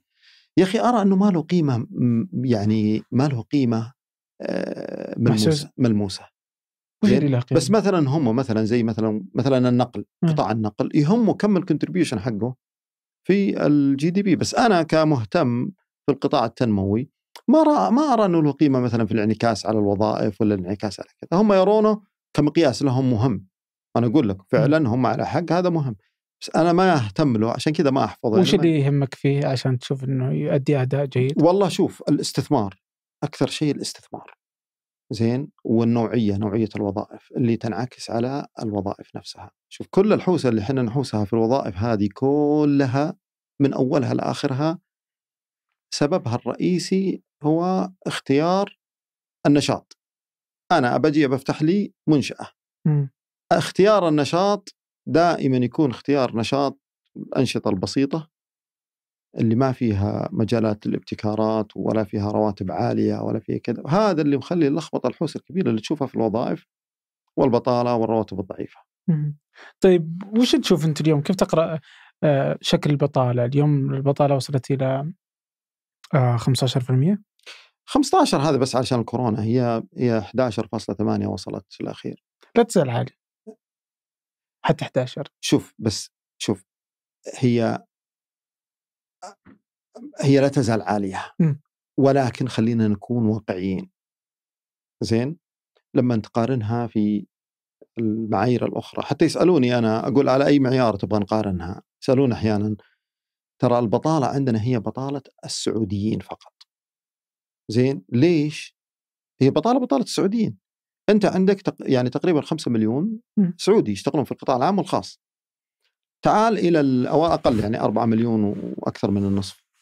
تعال إلى القطاع ال ال إلى ال إلى الأجانب. تجد إن العدد 6 6 6 مليون ونصف اللي يعملون الآن في القطاع الخاص والقطاع الحكومي تقريبا. يعني أقل من 7 مليون. على المعايير الرئيسية في صندوق النقد الدولي والبنك الدولي المراجع الرئيسية ترى حنا ينظر للبطالة السعودي والأجنبي السكان. ما ينظر للبطالة لوحدها حقت السعوديين. امم إيه. طيب كم نسبة البطالة السعوديين؟ السعوديين الآن 12 11.8 قبل الكورونا. بعد الكورونا الآن ناس واجد يقولون يا أخي شوف حتى أمريكا رجعت أنت ما رجعت. أنا لسه ما رجعت لأني أنا ما أحدث إلا كل ثلاثة شهور. أمريكا تحدث كل أسبوع. بس شو أنت شايف؟ كل الناس رجعوا لأعمالهم. في في مقالة أو تقرير في الإندبندنت العربية وعلى أنه التوقعات أنه في الربع الثالث بتزيد نسبة البطاله في في السعودية؟ م. أي إندبندنت؟ أتوقع العربية. لا إندبندنت عربية؟ والله أنا ما قراته ما ما شفت عندهم هذا. التقرير ولكن ما أدري يعني ما ما عند ما, ما أدري كيف ما أقدر أتصور كيف أن البطالة ممكن تزود عن الربع الأول. أوكي. طيب شوف في عبد الحميد العمري يقول آه بالنسبة لهيكلة البطالة لدينا لا زالت مشكلة عدم إيجاد الوظائف الملائمة لأصحاب الشهادات الجامعية فأكثر أحد أكبر التحديات التنموية لدينا. وقد ارتفع معدل البطالة بين حملة الشهادة الجامعية بنهاية الربع الثاني من 2020 إلى 21.3% وارتفع معدل أعلى يعني وهذا إلى معدل أعلى لدى فئة الشباب آه، من 20 إلى 24 سنة إلى 35% إذا بتنظر لها بتفاصيل في لها تفاصيل كثيرة. م. ارجع إلى النقاط الرئيسية اللي تكلمنا عنها في بداية حديثنا. نوعية الأعمال اللي نعملها هنا لا تحتاج الأعمال يعني اللي تحتضن الجامعيين تشتغل اليوم هنا تروح بكرة هناك. مع وأنت شغال هنا الآن شاب صغير راتبك 30 و40 ألف ها؟ وجات لك فرصة محل ثاني ب ألف تطلع من هنا لهنا يكون سوق حيوي كبير. إحنا الآن ما تجد الأشياء هذه لأن الأعمال عندنا لا زالت القطاع الخاص لا زال يستثمر في الأعمال الخدمية خدمية. مم. الأعمال الخدمية خدمية لأنه في أعمال خدمية برمجية مثلا ممتازة. ولكن أنا كون كوني أكون ريسيلر يعني إعادة بيع فقط. زين؟ يبيعون علي مثلا من برا وأجي أنا هنا أشتريها وأعيد المنتج بيعه سواء كانت قرطاسية سواء كانت منتج في الألبان مهما كان ها؟ أنت ما زلت في في المكان هذا. ولكن في شيء ثاني وزارة الموارد البشرية تعمل عليه. الأعمال المرحلة للخارج. أعمال المرحلة للخارج. في ناس يأخذون عقود أعمال وأعمال ممتازة وتتمنى إنه أخوك وابني ويعملون فيها. هم يروحون يرحلونها لبرا. تتسوى برا تجي, تجي جاهزة يروحون يقدمونها كمنتج. زي إيش تقصد يعني مثلا في مثلا أنا مثلاً؟ لو أعطيتني مثلا الآن تطبيق أخذ منك تطبيق وأنا عندي شركة برمجية ب 20 مليون ريال. زين آخذ التطبيق راح أصلحه في أوروبا في الهند ولا ولا في سنغافورة ولا في الهند ولا في أي مكان، الهند تجربة مش كويسة اللي ما عنده استمرارية وقوة. م. لا غالبية في أوروبا ولا في سنغافورة حتى مصر يعني مصر والهند إذا ما عندك استمرارية بالعربي تلقاه فاتح مكتب هناك آه. زين فاتح مكتب وياخذ البرامج الصغيرة بس البرامج العملاقة تحتاج إلى standard قوي م. فيجيك هالبرنامج هذا صلحوه جابوه بالتكلفة العالية ب 10 مليون 15 مليون. وأنت ماخذ ب 20 مليون مثلا. هذه الوظائف القوية هي مصدرة للخارج. فأنت عندك ثلاثة أشياء. ثلاثة أشياء رئيسية. الاستيراد 500 مليار. استيراد. استيراد السيارات و كل الاستيراد؟ السلع الملموسة. الخدمات الغير ملموسة. مرحلة لبرا. تتكلم على رقم كبير 120 مليار تقريبا. ريال ولا؟ ريال. زين. العمالة الوافدة. هذا 20 2019 ولا؟ 2018 أعتقد. أنا حسبتها مرة بس ترى حسبتها صعبة. يعني اجتهادا مني ما كان ما هي دقيقة. بس تقديرية. بس آه، جمعت المعلومات وطلعت وكتبتها في مقال. ممتاز. وفي عندك الشيء الثالث اللي هي الرواتب اللي تدفع لل... لل... للعمالة الموجودة وهذا حق من حقوقهم يرحلوها لبرا. هي تقريبا 120 مليار. عندك 120 مليار 120 مليار 500 مليار. شايف إحنا مركزين على العمالة الأجنبية. بس مركزين على العمالة الأجنبية. العمالة الأجنبية هي اولا هي 120 مليار. زين؟ الموازي لها 120 مليار الاعمال الاعمال اللي ترحل للخارج. هذه اللي نركز عليها في توطينها؟ في توطينها هنا بتر... يعني هذه اللي تعمل عليها الآن هيئة المحتوى المحلي والمشتريات الحكومية وزارة الموارد البشرية عندهم برنامج كبير عليها. بس أتوقع أن المشكلة أكبر يعني الشق أكبر من رقعه زي ما يقولون. يعني إذا جينا ناخذ هذه النقطة. قبل ما تكمل أنا كتاجر أريح لي اوديها برا. أنا كتاجر حتى لو كان لك أريح لي برا برا أوديها. أبى أتصور إنه تدري أنت تاجر واريح لك إنك تحطها بالسعودية. زين؟ ودك تحطها بالسعودية. أنت ما تقدر. ليش؟ يعني أنا أستغرب من كلامك بس ليش؟ ما ما فيه. ما في كفاءات. يعني كم كمية المبرمجين عدد المبرمجين الموجودين في السعودية؟ قليل. أجيب من لا يقارن. أجيب من برا ومن الداخل. فهمت؟ هذه هي المعضلة الأساسية. هي نقص الكفاءات. أنا أحس إن هذه مشكله السوق أنا أقدر أبني. أنا كتاجر أقدر أبني. زين؟ أقدر أبني يعني يعني يعني شركة برمجية كبيرة وأطعمها من الخارج. أجيب ناس كفاءات عالية. زين وأطعمها وأبني. بس وين المشاريع اللي باخذها؟ اللي بتعطيني الاستمرارية. أنا بعدين بروح أنافس معك أنت وأنت تروح تجيبها من الخارج. فما أقدر أنافس معك. مم. بس يعني حتى لو أنت مثلا شركة جالس جالس تطور داخليا أبى أتصور إنه هذه المعضلة الأساسية في السوق هي نقص الكفاءات. شوف نقص الكفاءات ترى الكثير يعتقد إنه إنه إنه إحنا عندنا أعداد كبيرة وكذا. لا إحنا إحنا نستطيع أن نستوعب كل السعوديين وبحاجة إلى برضه غير سعوديين في أعمال كثيرة. صحيح. ولكن إنه أنت ترى صعب عملية التحويل ليست سهلة. في كل القطاعات. أنا في مثل دائما أضرب عليه وأقول شبهه بالأشياء الثانية وإن كانت ليست بنفس الدقة. أنت مستشفى اللي عند بيتك فيه تقريبا 200 ممرض وممرضة غير سعوديين. خبرة كل واحد منهم عشر سنوات. فجيت شلت الخبرة يعني أنت عندك خبرة كم؟ 2000 سنة. 2000 سنة موجودة تمريض في هذا المستشفى. شلت خبرة هال 2000 سنة واستبدلتهم بتوطين. بدون برامج. توطين عادي خريجين جدد وحطيتهم. تفقد خبرة ال 2000 سنة. ولكن إذا كان عندك البرامج آه، بالتدريج والتأهيل والعمل على إدخالهم بيكون بالنسبة لك سهل. لهذا يحتاج إلى وقت. بتقول وقت من زمان؟ لا بج... صراحة إحنا بجدية ما عملنا يعني إلا مؤخرا. وهذه تاخذ وقت. طبعا. طيب. من الأشياء اللي تاخذ وقت ومزعجة لكل المواطنين هي مسألة الإسكان. أحس أنها واحدة من المعضلات واحدة من الأشياء اللي تهم كل مواطن اللي هي إنه يبغى يسكن. ودي تعطيني كذا قراءة للمشهد وش صاير كذا في الإسكان خلال السنوات الماضية؟ شوف أنا بقول لك على يعني يعني ما بكل جواب بعطيك إياه بيكون جواب تفاؤلي. مدحا في النفط ومدحا في الأعمال ومدحا في التوظيف بعطيك برضه بالإسكان بعطيك الجانب الجيد. الجانب الحلو لأن الإسكان وضع ليدعم برنامج الإسكان وضع ليدعم ولكن ثق ثقة تامة أنه كل من قرأت لهم ينقصهم الصورة يعني الصورة كاملة. الناس ما تنتظر. أنا جربت قلت يمكن العيب في الإسكان ما هم قاعدين. فقمت أكتب. م. أنا كنت كوني كنت في المجلس الإستشاري لوزارة الإسكان. فجلست أكتب. أكتب وأكتب وأكتب. ما يخلوا الناس أول شيء الناس ما ما ما تخليك ترد ما ما ما على طول تضرب في الكلام.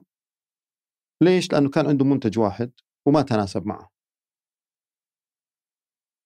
ف ما هو جالس يتفهم. أنا أجي أقول يا أخي الإسكان تعطيك 500 ألف. هي مسؤوليتها 500 ألف دعم مثلها مثل الصندوق العقاري السابق. وإن ما حبيت أنت مثلا الطريقة أنها جاية عن طريق البنوك ولا عن طريق هي 500 ألف. هي تعطيك ال 500 ترى لا تسددها إلا ب 1666 إذا قسمت ال 500 على 25 سنة على 12 شهر. ولا إذا 20 سنة بتكون على ب 2083 ريال ولا ب 2777 إذا كانت على 15 سنة. أنت واختيارك أنت والحظ دائما يجي الرد. هذا كلام كذب هذا كلام. اللي أخذ البيت اللي استفاد من الإسكان وأخذ البيت هذا ما يجي يدعمك. ما يتكلم ما يقول نعم أنا فعلا سكنت وأنا حط لا. اللي ما مشيت معه النقطة اللي هو يبغاها ولا البرنامج اللي هو يبغاه ولا المنتج اللي هو يبغاه جاء ضرب في كل البرنامج. فيجي واحد يقول لا أنا قرضي ستة ألاف. أنا ما أدري كيف هالستة ألاف هذه من وين جت؟ زين؟ من وين جت هالستة ألاف؟ إذا كان أقصى حد تدعمك فيها الإسكان هو ال 500 ألف زائد ال 140 ألف اللي كانت موجودة للعسكري والمدني ولكن هذه كان لها أريحية أكثر يعني حتى دفعها بعدين بعد ما تخلص ال 500 ألف وبدون فوائد. فكيف جت ال 6000 تعال يا أخي كيف جت ال 6000 طلع الرجل اشترى بيت بمليون و300 طيب أنت شريت بيت بمليون و300 هم الإسكان ما قالوا لك إحنا بندعمك بالمليون و300 إحنا بندعمك في شيئين. بندعمك في الضريبة كانت إلى أقصى حد 850 ألف الآن رفعوها إلى مليون وأنت تدفع الفرق تشتري بيت مليون و200 أنت بتدفع حق ال 200 الدولة بتدفع عنك المليون. هذا حسب الشروط إذا كان مسكنك الأول. القرض اللي تعطيك الدولة أو التمويل اللي تدعمه الدولة وتعطيك الشركات التمويلية هذا القرض أنت لك ال 500 فقط. ما بعد ال 500 هذا شأنك الخاص. ما إحنا لما نتكلم على 6000 و 7000 يا أخي تقدر تروح اليوم تقدر تأخذ قرض ب 4 مليون. إذا إذا إذا البنك أعطاك 4 مليون تقدر تأخذ ب 4 مليون. ولكن هذه ال 4 مليون أنت اللي اخترتها الدعم فقط لل 500 ألف. ولذلك لن يتجاوز 2777 سدادها. يجي واحد مثلا عمره 50 يقول لا هذا ما هو صحيح. حتى الكلام هذا ما هو صحيح. ليش؟ قال لأني أنا رحت للبنك. مثلا بنك قول مثلا بنك ألف راح البنك. طيب هل رحت البنك ثاني؟ قال ها. كيف أروح البنك ثاني؟ أقدر طبعا تقدر تروح للبنوك كلها ومش لازم ينزل راتبك فيها. استغرب شوي. والله كل البنوك خلينا اجتمعوا على عبد الرحمن خلاص. عمرك 50 اليوم نعطيك 10 سنوات. اقسم ال 500 ألف على 10 سنوات. ما راح نخاطر معك في التقاعد أسأله كل ابنك أقول له طيب هل رحت إلى شركات التمويل؟ قال وش هي شركات التمويل؟ يا أخي في شركات تمويل تعطيك إلى عمرك 75 وتنظر معك راتبك التقاعدي وتشوف قديش تقدر تدفع أنت حتى في راتبك التقاعدي. قال كيف؟ يا أخي شركة دار التمليك وأن ذكرنا اسمها ونسوق لها هي أساسا ال ال ال المؤسسة العامة للتقاعد هي المالك الأكبر فيها، هي دعم للمتقاعدين. في ناس أعمارهم فوق ال 50 أخذوا القرض. روح للبنك فوق ال 50 ما يعطيك. يقول لك إيش أعطيك؟ أنت بتتقاعد بعد خمس ست سنوات. زين؟ ناس يجي يقول لك أنا رحت للبنك وما اعترف بالشركة حقي. أنت شركتك صغيرة فيها 20 شخص وشركة هذا ما ما هو ما فيها استمرارية ما هو مضمون. تشتغل في مطعم صغير. ما نعطيك. ولا راتبك قليل، راتبك 4000 برضو يعطيك إلى راتبك 4000 روح إلى الشركات التمويلية المتخصصة في الأشياء هذه. والمشكلة الكبيرة أنه لما تتكلم عن برامج الإسكان أن الناس لا لا تتفهم. كل واحد يبغى يرد عليك بالمفهوم اللي عنده. ولكن البرنامج كبير الإزدياد كبير. إلى إلى الشهر الماضي إلى قبل يومين يعني حق الشهر الماضي في السنة في, في أقل من ثلاث سنوات برنامج الإسكان دعم أكثر من 700 ألف 700 تقريبا و10 أو 720 ألف آه، تمكين للمساكن. هذا قريب من الرقم اللي عمله الصندوق العقاري في 42 سنة. الفرق إيش؟ الفرق طبعا بالنسبة للناس الناس تبغى من الصندوق العقاري مباشرة. إحنا نتمنى الشيء البسيط. أنا نبغى يا أخي نبغاها نبغاها منحة مثلا ها؟ كل واحد له أمنيات. ولكن بدل ما يحطوا ميزانية 10 مليار مثلا سنويا للصندوق العقاري قال لا. بدل ما أعطيها هذا 500 ألف هذا 500 ألف هذا 500 ألف لا. خليني أدفعها دعم للأقساط وأخذ أعداد أكبر. ولذلك ارتفعت. أنت لا تقرأها من وزارة الإسكان. روح إلى تقرير مؤسسة النقد. وشوف عدد الناس والحجم التمويل اللي أخذوها الناس في الثلاث سنوات الأخيرة. تشوفه يتضاعف بشكل حتى في حتى في أشهر الجائحة يتضاعف يزود حتى في أشهر الجائحة. آخ أعلى شهر هو اخر شهر. أكثر من 30 ألف. طيب بس أنا أحس إن هنا أقدر أدخل معك في أكثر من نقطة. إيه أنت تقول مثلا الحين إنه 500 ألف من وين دام إنك أنت أخذت أكثر. م. طيب في جزئية إنه 500 ألف هذه ما تجيب أرض فاضية ما تجيب, ما تجيب أرض فاضية نعم يعني ما تسوي شيء فما في مشكلة 500 ألف اتفقنا إنه بتاخذ 2777 ما كيف بس ما تجيب لك. ما تجيب شقة. ما تجيب لك شقة. ما تجيب شيء نعم. فهذه معضلة. أنا يعني 500 ما تسوي. أنا مضطر اضطرارا إني أصل إلى مليون ونص عشان أشتري يمكن حتى شقة. شوف. أن أنت لا تتحكم. ما في أحد يقدر يتحكم في الأسعار. ابدا ابدا ابدا. عناصر متعددة هي اللي تتحكم في الأسعار، أرفع الضريبة شوف إيش يصير في العقار، نزل الضريبة شوف، أرفع الرسوم شوف إيش يصير، يعني نازل طالع نازل طالع نازل خلى الدولة تجي الآن تقول لك أنا أبغى أبني مصانع وكذا شوف إيش يصير في الأسعار، تطير الأسعار فوق. الآن خذ الأحياء ال ال ال ما نبغى نقول الممتازة جدا، أنا نقول الممتازة. في الرياض، تبغى تاخذ لك أرض مليونين مثلا. أعطني مثال الحي. يعني خذ مثلا الأحياء الشمال الصحافة و صح زين. تاخذ لك المتر مثلا 2500 أنا ما أعرفه بالضبط بالضبط لك 2500 إحنا ناخذ تقديري تقديري 2500 خلينا نقول إن, نزل المتر نزلت الأسعار من 2500 خلها نزلت إلى 1000 ما راح من بكرة يصير الإقبال عليها تلقائيا ترتفع مرة ثانية إلى 2500 الحركة هي اللي تتحكم في السعر. الحركة. يعني أنت الآن تقول أنا جمعت لي مليونين باخذ لي أرض. ما اشتريت. تقول خلى الأسعار تطيح. طاحت الأسعار بالمليونين بتروح تشتري لك خمس اراضي ولا أربع اراضي التجار نفسهم بيروحون يستثمرون في هذه الأراضي.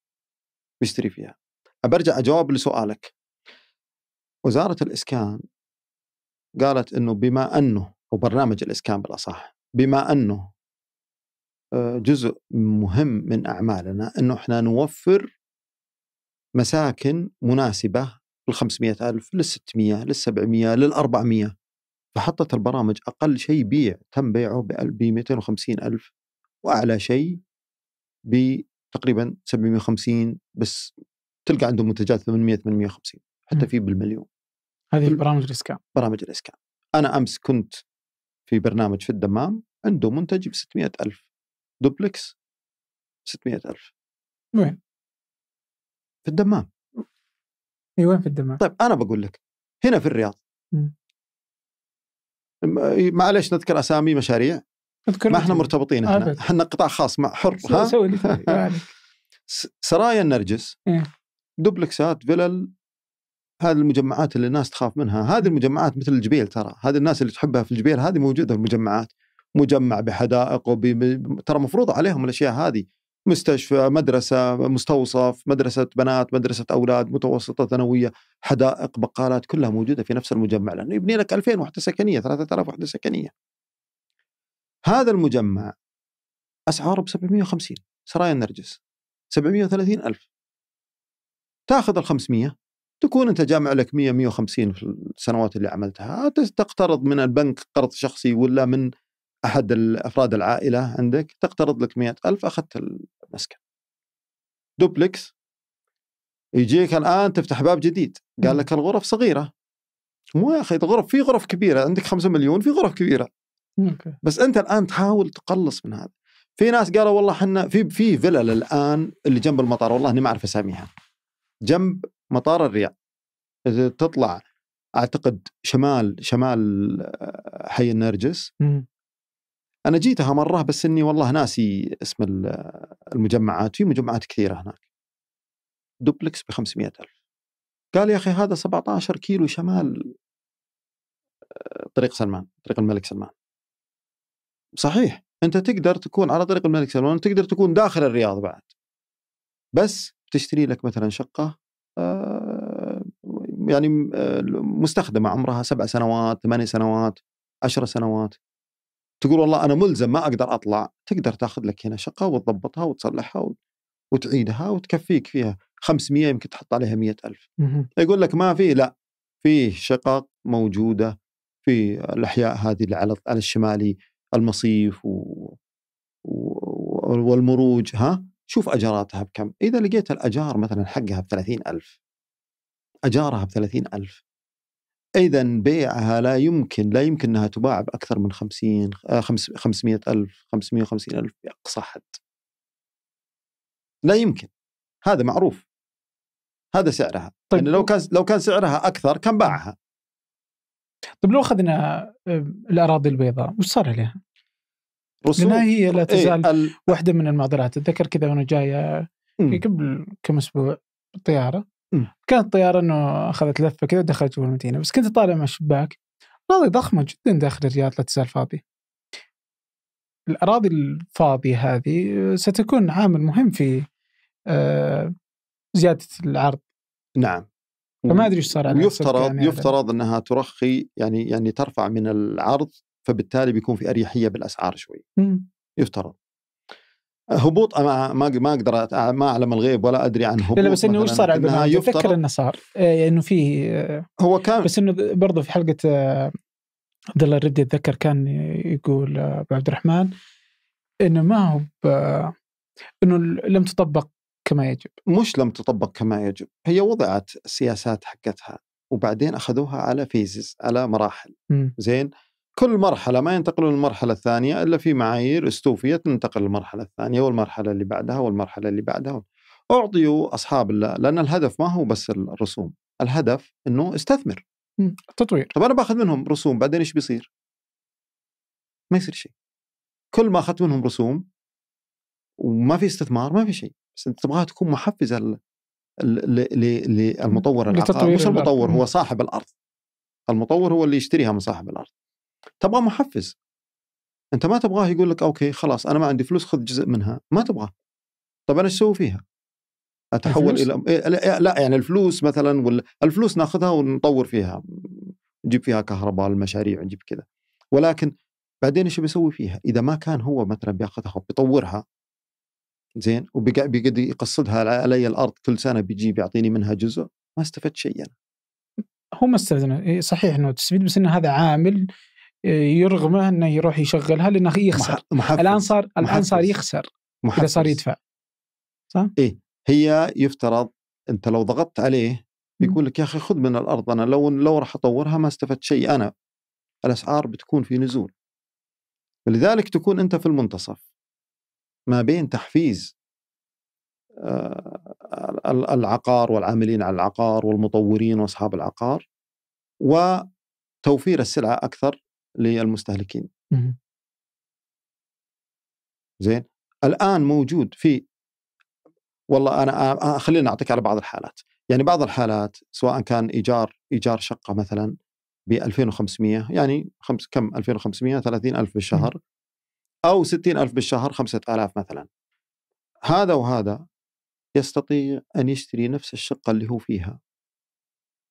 زين؟ بنفس الم... بنفس المبلغ. يعني هذا أبو 2500 روح خذها اشتريها ب 600000 وقت قصدها ما راح ما راح تصل بتدفع يمكن نفس الشيء 2500 خليك تدفع 3000 أساسا المفروض تدفع أقل. لو تروح تشوف أنت القروض العقارية في مؤسسة النقد تقسم الأعداد تقسم حجم التمويل على الأعداد المعدل 480 ألف. 480 ألف بالقرض الواحد. حتى ما هو يعني 500 فوق ال 500 لا 480 فمعناته في ناس كثير تنطبق عليهم. إحنا مشكلتنا أنا مثلا أشوف الستاندرد حقي وأطبقه على العالم. لا في أعداد كبيرة كبيرة كبيرة كبيرة يقول لك أنا ما عندي قدرة إلا إني أشتري شقة. زين؟ وأسكن فيها وأدفع نفس قيمة الإيجار أو أقل. وأتملك وأتملك. طيب وش ال... وش تتوقع اليوم إذا أخذنا أكبر العوائق أمام برنامج الإسكان؟ برنامج الإسكان ماشي كويس. ماشي تمام؟ ماشي تمام. يعني ال ال الأرقام جالسين يعني في تقدم كبير. هذا يعني خليني أقول لك هو أكثر من المتوقع. مم. يس. كم نسبة تملك اليوم السعوديين لل والله شوف أنا نسبة التملك الحقيقية آه، ما أدري بس أنها تقريبا يمكن وصلت قريب ال 65 أو حاجة زي كذا. كم كانت مثلا 2015؟ كانت آه، يمكن 60% أو أقل من 60% هذا على المعايير الإحصاءات اللي موجودة في آه. عند الاسكان والهيئة العامة للإحصاء. أوكي طيب آه الأراضي بعد تغير آه الضريبة وإضافة الضريبة آه، يعني إزالة الضريبة القيمة المضافة وتغييرها بضريبة التصرفات العقارية. صارت 5% كيف تشوف أثرها على العقار وأسعار؟ هذه ممتازة بس إنها ما تنعكس على اللي أنا وأنت نتكلم عنه. أجل لأن الضريبة أساسا الدولة بتدفع عنك إلى مليون، أنت بتشتري لك دوبلكس بمليون مليون و200 ما الضريبة ما هي مهمة لأنهم بيدفعون ضريبة المليون. زين إيه بس ما إذا اخذنا بس, إيه؟ بس لأن مثالها إيش؟ إنه ما في شيء في الرياض ولا يمكن المدن الرئيسية الثلاثة ما في شيء بمليون فإذا أنا بشتري حاجة أكيد المليون ونص أو شيء زي كذا. وكانت تغطي إلى 800 القرار الأخير اللي جاء هو يغطي حالتين إنه رفع القيمة وتغيرت الضريبة. نعم. بس إذا قلنا إنه آه، مليونين تأخذ شيء مليونين ولا مليون ونص وهذا المتوسط يعني. آه فأنت الضريبة يعني ضخمة جدا من قيمة الأرض. والدولة تتكفل أو الحكومة تتكفل ب 800000 إيه. فهي بتاخذ يعني ما قرابة بس تحولت. الآن الآن صارت مليون. فتفرق أحس. إيه. إنه الضريبة أول كانت يعني في المليون 150 وهي تدفع إلى 800 800 إيه؟ يعني أنت تتكلم عن الثلاثة أشهر اللي صارت يعني؟ اي الآن بعد قرار الملك الأخير. اي نعم. كيف تتوقع أثرها على القطاع؟ والله شوف هي بكل تأكيد تحركت. أول ثلاثة أيام كان في تحرك كبير. مم. أول ثلاثة أيام كان في تقرير أعتقد 8000 صك في ثلاثة أيام اللي تم يعني آه، في في آه، وكالات العدل. آه، كان فيه يعني في حركة سريعة. بس ترى السوق ترى ما يتجاوب سريعا دائما. السوق يمشي على المدى البعيد. أنت لأن نويت تشتري بيت اليوم ما تروح تشتري بكرة. أكيد. إيه فالتجاوب ما يكون يعني مباشر. ولكن بكل تأكيد يعني شوف أنا بقول لك بقول لك دليل بعطيك دليل كيف حرص الدولة على تملك المسكن الأول ومساعدة المواطن يتملكه. أنت جيت ما تدري رحت شريت لك بيت. زين؟ شريت لك بيت من عندك ما تدري عن برامج الإسكان. خلاص أنت تملكت محسوب في نسبة التملك. ترى في برنامج خاص في وزارة الإسكان الآن يرجع لك يقول لك تعال ترى يمديك تعال ونعطيك. يس اسمه تحويل القرض العقاري القائم إلى قرض مدعوم ولا يدري عنها البنك حقك اللي أنت أخذت منه القرض ما يدري عنها نهائيا. تجيهم يحولون يصير ينزل لك شهريا. ينزل لك شهريا بالمبلغ المتبقي. عجيب. هو موجود ترى في كل التقارير. شوف روح على تقارير الإسكان الصفحه السادسة السابعة تلقى المنتجات سبعة ثمانية منتجات. الشراء من السوق البناء الذاتي الشراء من مشاريع الإسكان مشاريع اللي يسمونها البيع الخارط الآن تغير اسمها الأرض المجانيه الأرض المجانية في تلقى موجود تحويل القرض العقاري القائم إلى قرض مدعوم. طيب طيب أنت أساسا حولناك جت الدولة أعطتك فلوس تراك ما غيرت في نسبة التملك لأنه أنت متملك. ولكن التزام الدولة للمسكن الأول. طبعا في شروط. أما أنك تكون مثلا مسجل سابق في الصندوق العقاري افترض أنك ما سجلت. تكون أنت من اللي اشتروا بعد 1 1 2017 إذا أنت شريت بيت ب 2018 وأنت ما تدري زين روح الآن وتلقى الدولة تدعمك آه، حول حول قرضك و... ويتكفلون لك كأنك ماخذ القرض مدعوم. ال 500 ألف هذه كم كم الفوائد حقها؟ ال 500 ألف لما تاخذها. كم يعطي كم يعطيك إياها البنك في سنة؟ يعطيك إياها تقريبا مليون. 400 و... يعني 950 ألف. تتكفل بالنصف الثاني 950 ألف هذه. فكأنك أخذت قرض يعني كأنه قسط من راتبك بدون آه، فوائد. في برنامج ثاني برضه يعني برضه مهم ويدعم. حتى وإن كنت يعني ما استفدت من برنامج الإسكان. في برنامج ثاني أنا ما أعرف تفاصيله ولكن هو اسمه الرهن تقدر تروح ترهن صك البيت وتأخذ قرض تسدده بدون فوائد بس يبغى لك تبحث عن نوعيته وإيش اللي موجود بداخله. طيب وش الشكل الأمثل لشكل العقار في السعودية؟ هل هذه اليوم الأسعار متضخمة؟ هل المفترض إنها تنزل؟ هل المفترض إنه يصبح يعني وش الشكل الأمثل لنسبة تملك آه، المواطنين الأراضي، الأسعار، المساحات؟ أنا من أول ما كتبت م. وحتى في ناس يلوموني كثير.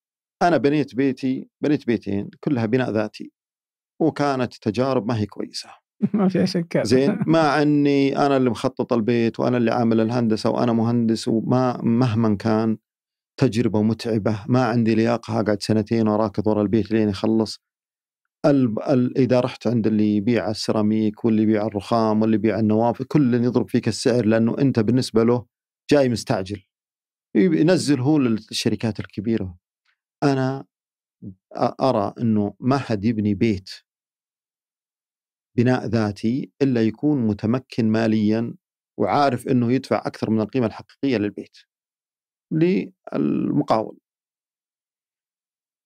المهم بالنسبة لنا إحنا كمهتمين بالشان التنموي إنه الشرائح اللي عندهم رواتب ضعيفة. مش ضعيفة يعني أبو 2000 حتى إلى 10000 و15000 زين؟ إنه يوجد لهم برامج سكنية. أوجد له أوجد لهم برامج سكنية الآن موجودة في كل المدن. وأسعارها برضه بنفس تتكلم من 400 ألف 300 ألف إلى 500 إلى 600 إلى 700 أنا دائما كنت أكتب أنه البرامج مشاريع الإسكان. لازم يسوي قبل قبل برنامج الإسكان هذا. مشاريع الإسكان. لازم يكون فيه مشروع زي اللي بنيت مثلا في الكويت واللي بنيت في الدمام وحتى في الرياض هنا. مشاريع الكبيرة. استوعب كمية كبيرة من الناس. من اللي يبنيها القطاع الخاص ولا الحكومة؟ الحكومة. آه. زين؟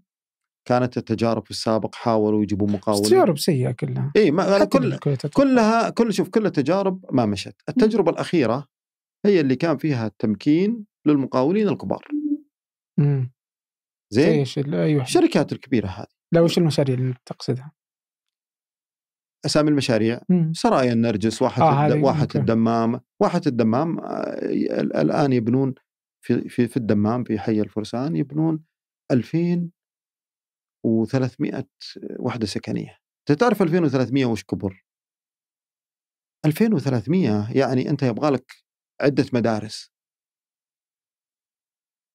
2000 وحده سكنية كل وحده سكنية فيها ثلاث أربع أطفال. نتكلم على 10000 طفل. أكبر مدرسة عندنا اللي مزعومة اللي مخنوقة اللي مخنوقة. 600 طالب تقريبا. هذه اللي مخنوقة مجمع. كم مدرسة يبغى لك هناك زين؟ هذه مجمعات متكاملة تبني من هالمتجمعات. ولكن المشكلة الكبيرة إنه نجي إحنا نبي نقول والله أنا أبي أبني أبغى غرف واسعة وابغى كراج للسيارة وأبغى وابغى وابغى أبغى وأبغى الأسعار منخفضة. زين؟ هذه ما تيجي طيب هل أسعار العقار متضخمه ولا منطقية اليوم؟ أغا... غالية. أنا كنت بجاوبك على السؤال اللي قبل شوي. وش هو وش اللي يحدد إنها متضخمة ما هو متضخمة؟ اللي يحدد الراتب. أنا إذا راتبي سبعين ألف بقول لك والله رخيصة هالعقار. إذا راتبي 10000 بقول غالي. من اللي يحدد الراتب؟ نقطتنا الأولى اللي تكلمنا فيها بداية اللقاء الوظائف. بس أقدر أعرف إنه هذا المنتج متضخم وفي هذا المنتج سعره عادل. هل هذا الأرض سعرها عادل؟ والله شوف هم, هم من اللي يساعدهم؟ اللي يساعدهم الناس اللي تشتري. في ناس عندها برستيج يقول لك أنا ما أبغى إلا الحي هذا. زين؟ الحي هذا ترتفع أسعاره.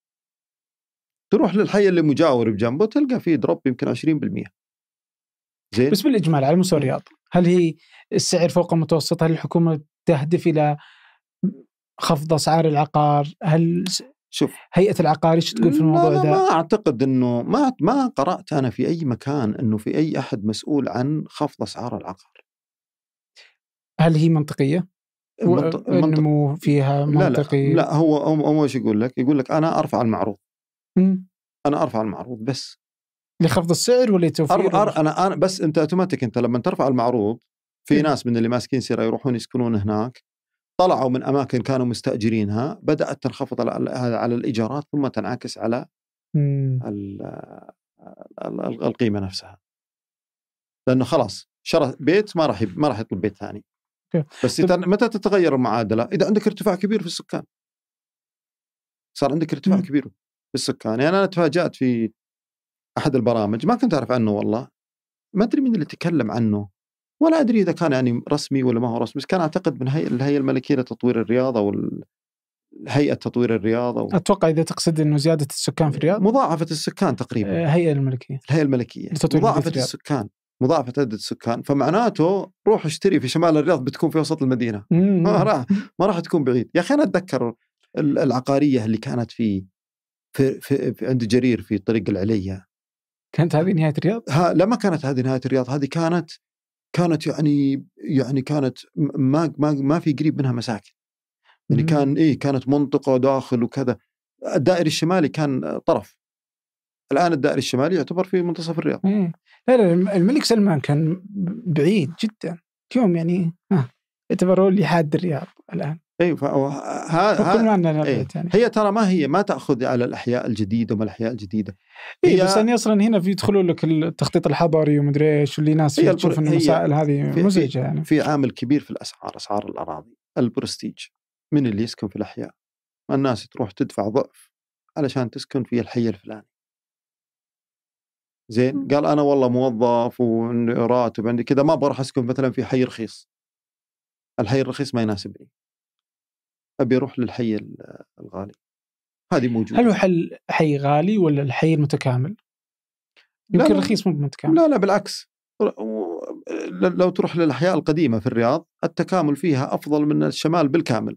فيها بنية تحتية تصريف أمطار فيها الماء, الماء واصل هناك الكهرباء كل شيء. إلا إلا. إيه. والمدارس وكل شيء موجود. هذه هذه شوف مشكلة ثانية والله. شوف الملز يعني ترى إحنا نتكلم عن الرياض ولكن الحديث يشمل لكل إيه لا لا يعني خصوصا الرياض برجع, برجع لك برجع لك في نقطة مهمة يمكن تستغرب منها. جدة فيها أكبر عدد الآن أكبر عدد يبنى. 45 ألف وحدة سكنية تبنى في جدة. آه هذا من اللي يبني القطاع الخاص؟ هذه المب... ال... ال... بيبنيها كلها القطاع الخاص م. تحت إشراف وزارة الإسكان أو برنامج الإسكان من ال 45 ألف كلها شقق في عماير أنا قلت ما يسكن ليش ما يحبون يعني دوبلكسات ولا جيت سألت قالوا في دوبلكسات بس داخل العماره يعني مثلا تكون انت ساكن مثلا في الدور التاسع إيه. تدخل في التاسع ومن الداخل داخل الشقة حقك في دور ثاني فوق. آه. زين. أنا قلت في سر خلينا نسأل. سألت سألت. تعرف لما تسأل عشوائيا ما تقدر لما تد... لما يكون عندك آلية تسأل لك مثلا 30000 تجيك البيانات قوية تقدر تعرف النمط الحقيقي. م. فرحت سألت المطورين. سألت المطورين وكبار المطورين بعد. قال لأن الطلب على الشقق. ما في طلب على المساكن. الطلبات اللي تشوفها هذه في تويتر هذه قليلة. الطلب الحقيقي على الشقق. نزل واحد منهم كلمني قال لي تعال شوف. نزل طبعا هو لما يأخذ المشروع مثلا 6000 وحدة سكنية ما يبنيها كلها مع بعض. يبغى لها فلوس. هو إيش يسوي؟ وياخذ جزء منها مثلا ألف يبني. وهو يبني إذا باع ومشت البيعة عنده كويسة لأنه يبني يبيعها قبل ما تجهز وحتى قبل ما تبنى. لأن الناس يبغون ال ال ال ال الاختيار يختار المبنى هنا يختار اللي يطل على البحر يختار بلكونتك تطل على البحر ولا على الجهة الثانية؟ تفرق. فإذا مشى السوق قام بنى phase 2 مشى phase 3 وأربعة ومرحلة خمسة ومرحلة ستة. قال لي تعال شوف المرحلة الأولى. ليش؟ قال كلها شقق. ما فيها ولا فيلا هو عنده فيلا داخل قال ولا واحدة منهم فيلا بس كلها شقق. ثلاثة غرف نوم طارت كلها. بيعت باعها. الأربع غرف نوم قال تعال عندي ما أتصرف منها إلا 20% زين؟ مم. فالطلب ما هو اللي براسي واللي براسك. المستهلك الحقيقي. هو اللي يحدد الطلب. أنا وأنت نعتقد إنه أشوف بيتي وأشوف بيتك وزميلك وأنت موظف في البنك وهذا زميل تنظر لها بالمنظار اللي, اللي أنت تنظره. ولكن في الحقيقة في ناس الحين المناطق الغير مناطق الرياض وغير مناطق الزحمة والجده يحبون الفيلا والحوش والسطح وال... مشاريعهم كذا كبرها حطوا ال... رغم إنه واضح إن في ثقافة الشقق هي جاية من جدة ما في شك للرياض. فالحين تشوف الماجديه أتوقع إنها واحدة من أبرز الأشياء اللي جالسة تصير في الرياض. آه يعني كلها مباعة. لما تدخل موقعهم هي شقق كلها. هي الرياض لم يتعود على الشقق المستقبل هو الشقق وما يتفق معنا الكثير أنا أعرف بزنس مان رجل أعمال يدير شركة استثمارية كبيرة يعني راتبه تتكلم فوق فوق ال 200 ألف م. والله زوج الأولاد وباع البيت وراح أخذ له شقة في عمارة في جدة تطل على البحر م. ومش في حقت الإسكان لا في العماير حتى شقق غاليه 4 مليون 3 مليون قيمة الشقة. مم. وراح أخذها هناك. يبغى السكن الصغير الآن صار هو الطلب عليه. طيب آه ودي آخر حاجة كذا أعرف آه بحكم آه يعني اهتمامك بالإسكان وحتى آه يعني قربك منهم وش أماكن آه التطوير اللي أنت تشوفها؟ آه أماكن كذا يحتاج عمل عليها أكثر؟ الأريا اللي تحتاج إلى تطوير. أنا قلت لهم أنتم ركزتوا كثير على التنظيم والآليات وهذا الشغل جميل مرة. م. باقي الآن التفعيل لأنه لما يدخل المستفيد يدخل مع الباب من هنا يطلع من هنا. م. رحلة واحدة. جزء منكم التمويل. التمويل يجد صعوبة. المفروض التمويل الناس تروح بنفسها للبنك المفروض يمرون عن طريق البوابة. زين؟ علشان تجي تقول له تقول له ترى ما أنت محدود على البنك اللي ينزل فيه راتبك. ولا أنت محدود على البنوك. ممكن تروح لشركات التمويل. زين؟ توضح له. أيضا الجودة. الإسكان تتابع الجودة. بس مهما كان حتى لو أنت بنيت بيتك بنفسك إلا ويطلع عندك فيه مشاكل. زين؟ مشاكل يعني في الغالب تكون مشاكل بسيطة. ما هي من المشاكل الأساسية ومشكله اللي تشوفه هذا. كله أعمال ما هي خاضعة للرقابة اللي اللي يسموها فلل الكراتين ومدري إيش مم. والسقف اللي هذا هذه كلها شغل مقاولين ما هو ما هم المقاولين المعتمدين. الاستدامة شهادة الاستدامة. تعال يا أخي حمل مسؤولية على شخص آخر. ليش أنت لما تجد صعوبة في البيت تتحملها أنت؟ حملها على شخص آخر. من هو أنت؟ يعني حملها على الش... على الأشخاص اللي ال- ال- ال- ال- اللي يجي يكشف على زي مثلا عاين مم. ادخل على تطبيق عاين وقول أبغى واحد يجي يفحص لي هالبيت هذا ب 1000 ريال ولا 1500 ريال وانت بتدفع فيه 700 ولا سالفه 600. عين؟ هي هو زي مثل أوبر يوفق ما بين مزود الخدمة وطالب الخدمة okay. يجونك ناس موثقين و... و... وعندهم شهادات اعتماد إنه يكون فاحص آه فيفحص لك البيت يفحص؟ لك البيت مم. يطلع لك العيوب اللي فيه كلها وحتى لو. أحد المزايا في المشاريع اللي أنت تشتريها وهو البيت لسه يبنى أنت تجي تشوف البيت وهو يبنى تشوفه قبل الصبة تصور ترسل تجيب فاحص تقول تعال افحص لي يجيك ب 500 ريال 1000 ريال يفحص قبل الصبة يشوفها. يقول له في خطأ هنا تصور وتروح تلزمه قبل ما يبدأ يصب فهذه هذه الأشياء اللي هي الجانبية هي اللي يعني البرامج الإسكان يفترض أن تعمل عليها بشكل أكبر. آه يعطيك العافية. شكرا الله يعافيك. جزيلا لك. يعني الحديث معك صدق لا يمل وموجود أنت على حسابات التواصل الاجتماعي. فكل المقالات والأشياء اللي تكلمنا عنها حتى ممكن برامج وزارة الإسكان بحاول أبحث عنها وبعضها بطلبها منك. هذه تكون في وصف الحلقة للي يحتاجها. آه وكذلك حساباتك موجودة في وصف الحلقة. الناس تقدر آه تستزيد وتقرأ وتتابعك آه إذا يبغون أي حاجة. آه يعطيك العافية. الله شكرا جزيلا لك. ممتن لك والله. شكرا على الاستضافة. شرف واتمنى أن أضفنا. ما في شك. الله, الله يسعدك. شكرا بارك لك. الله فيكم. شكرا جزيلا.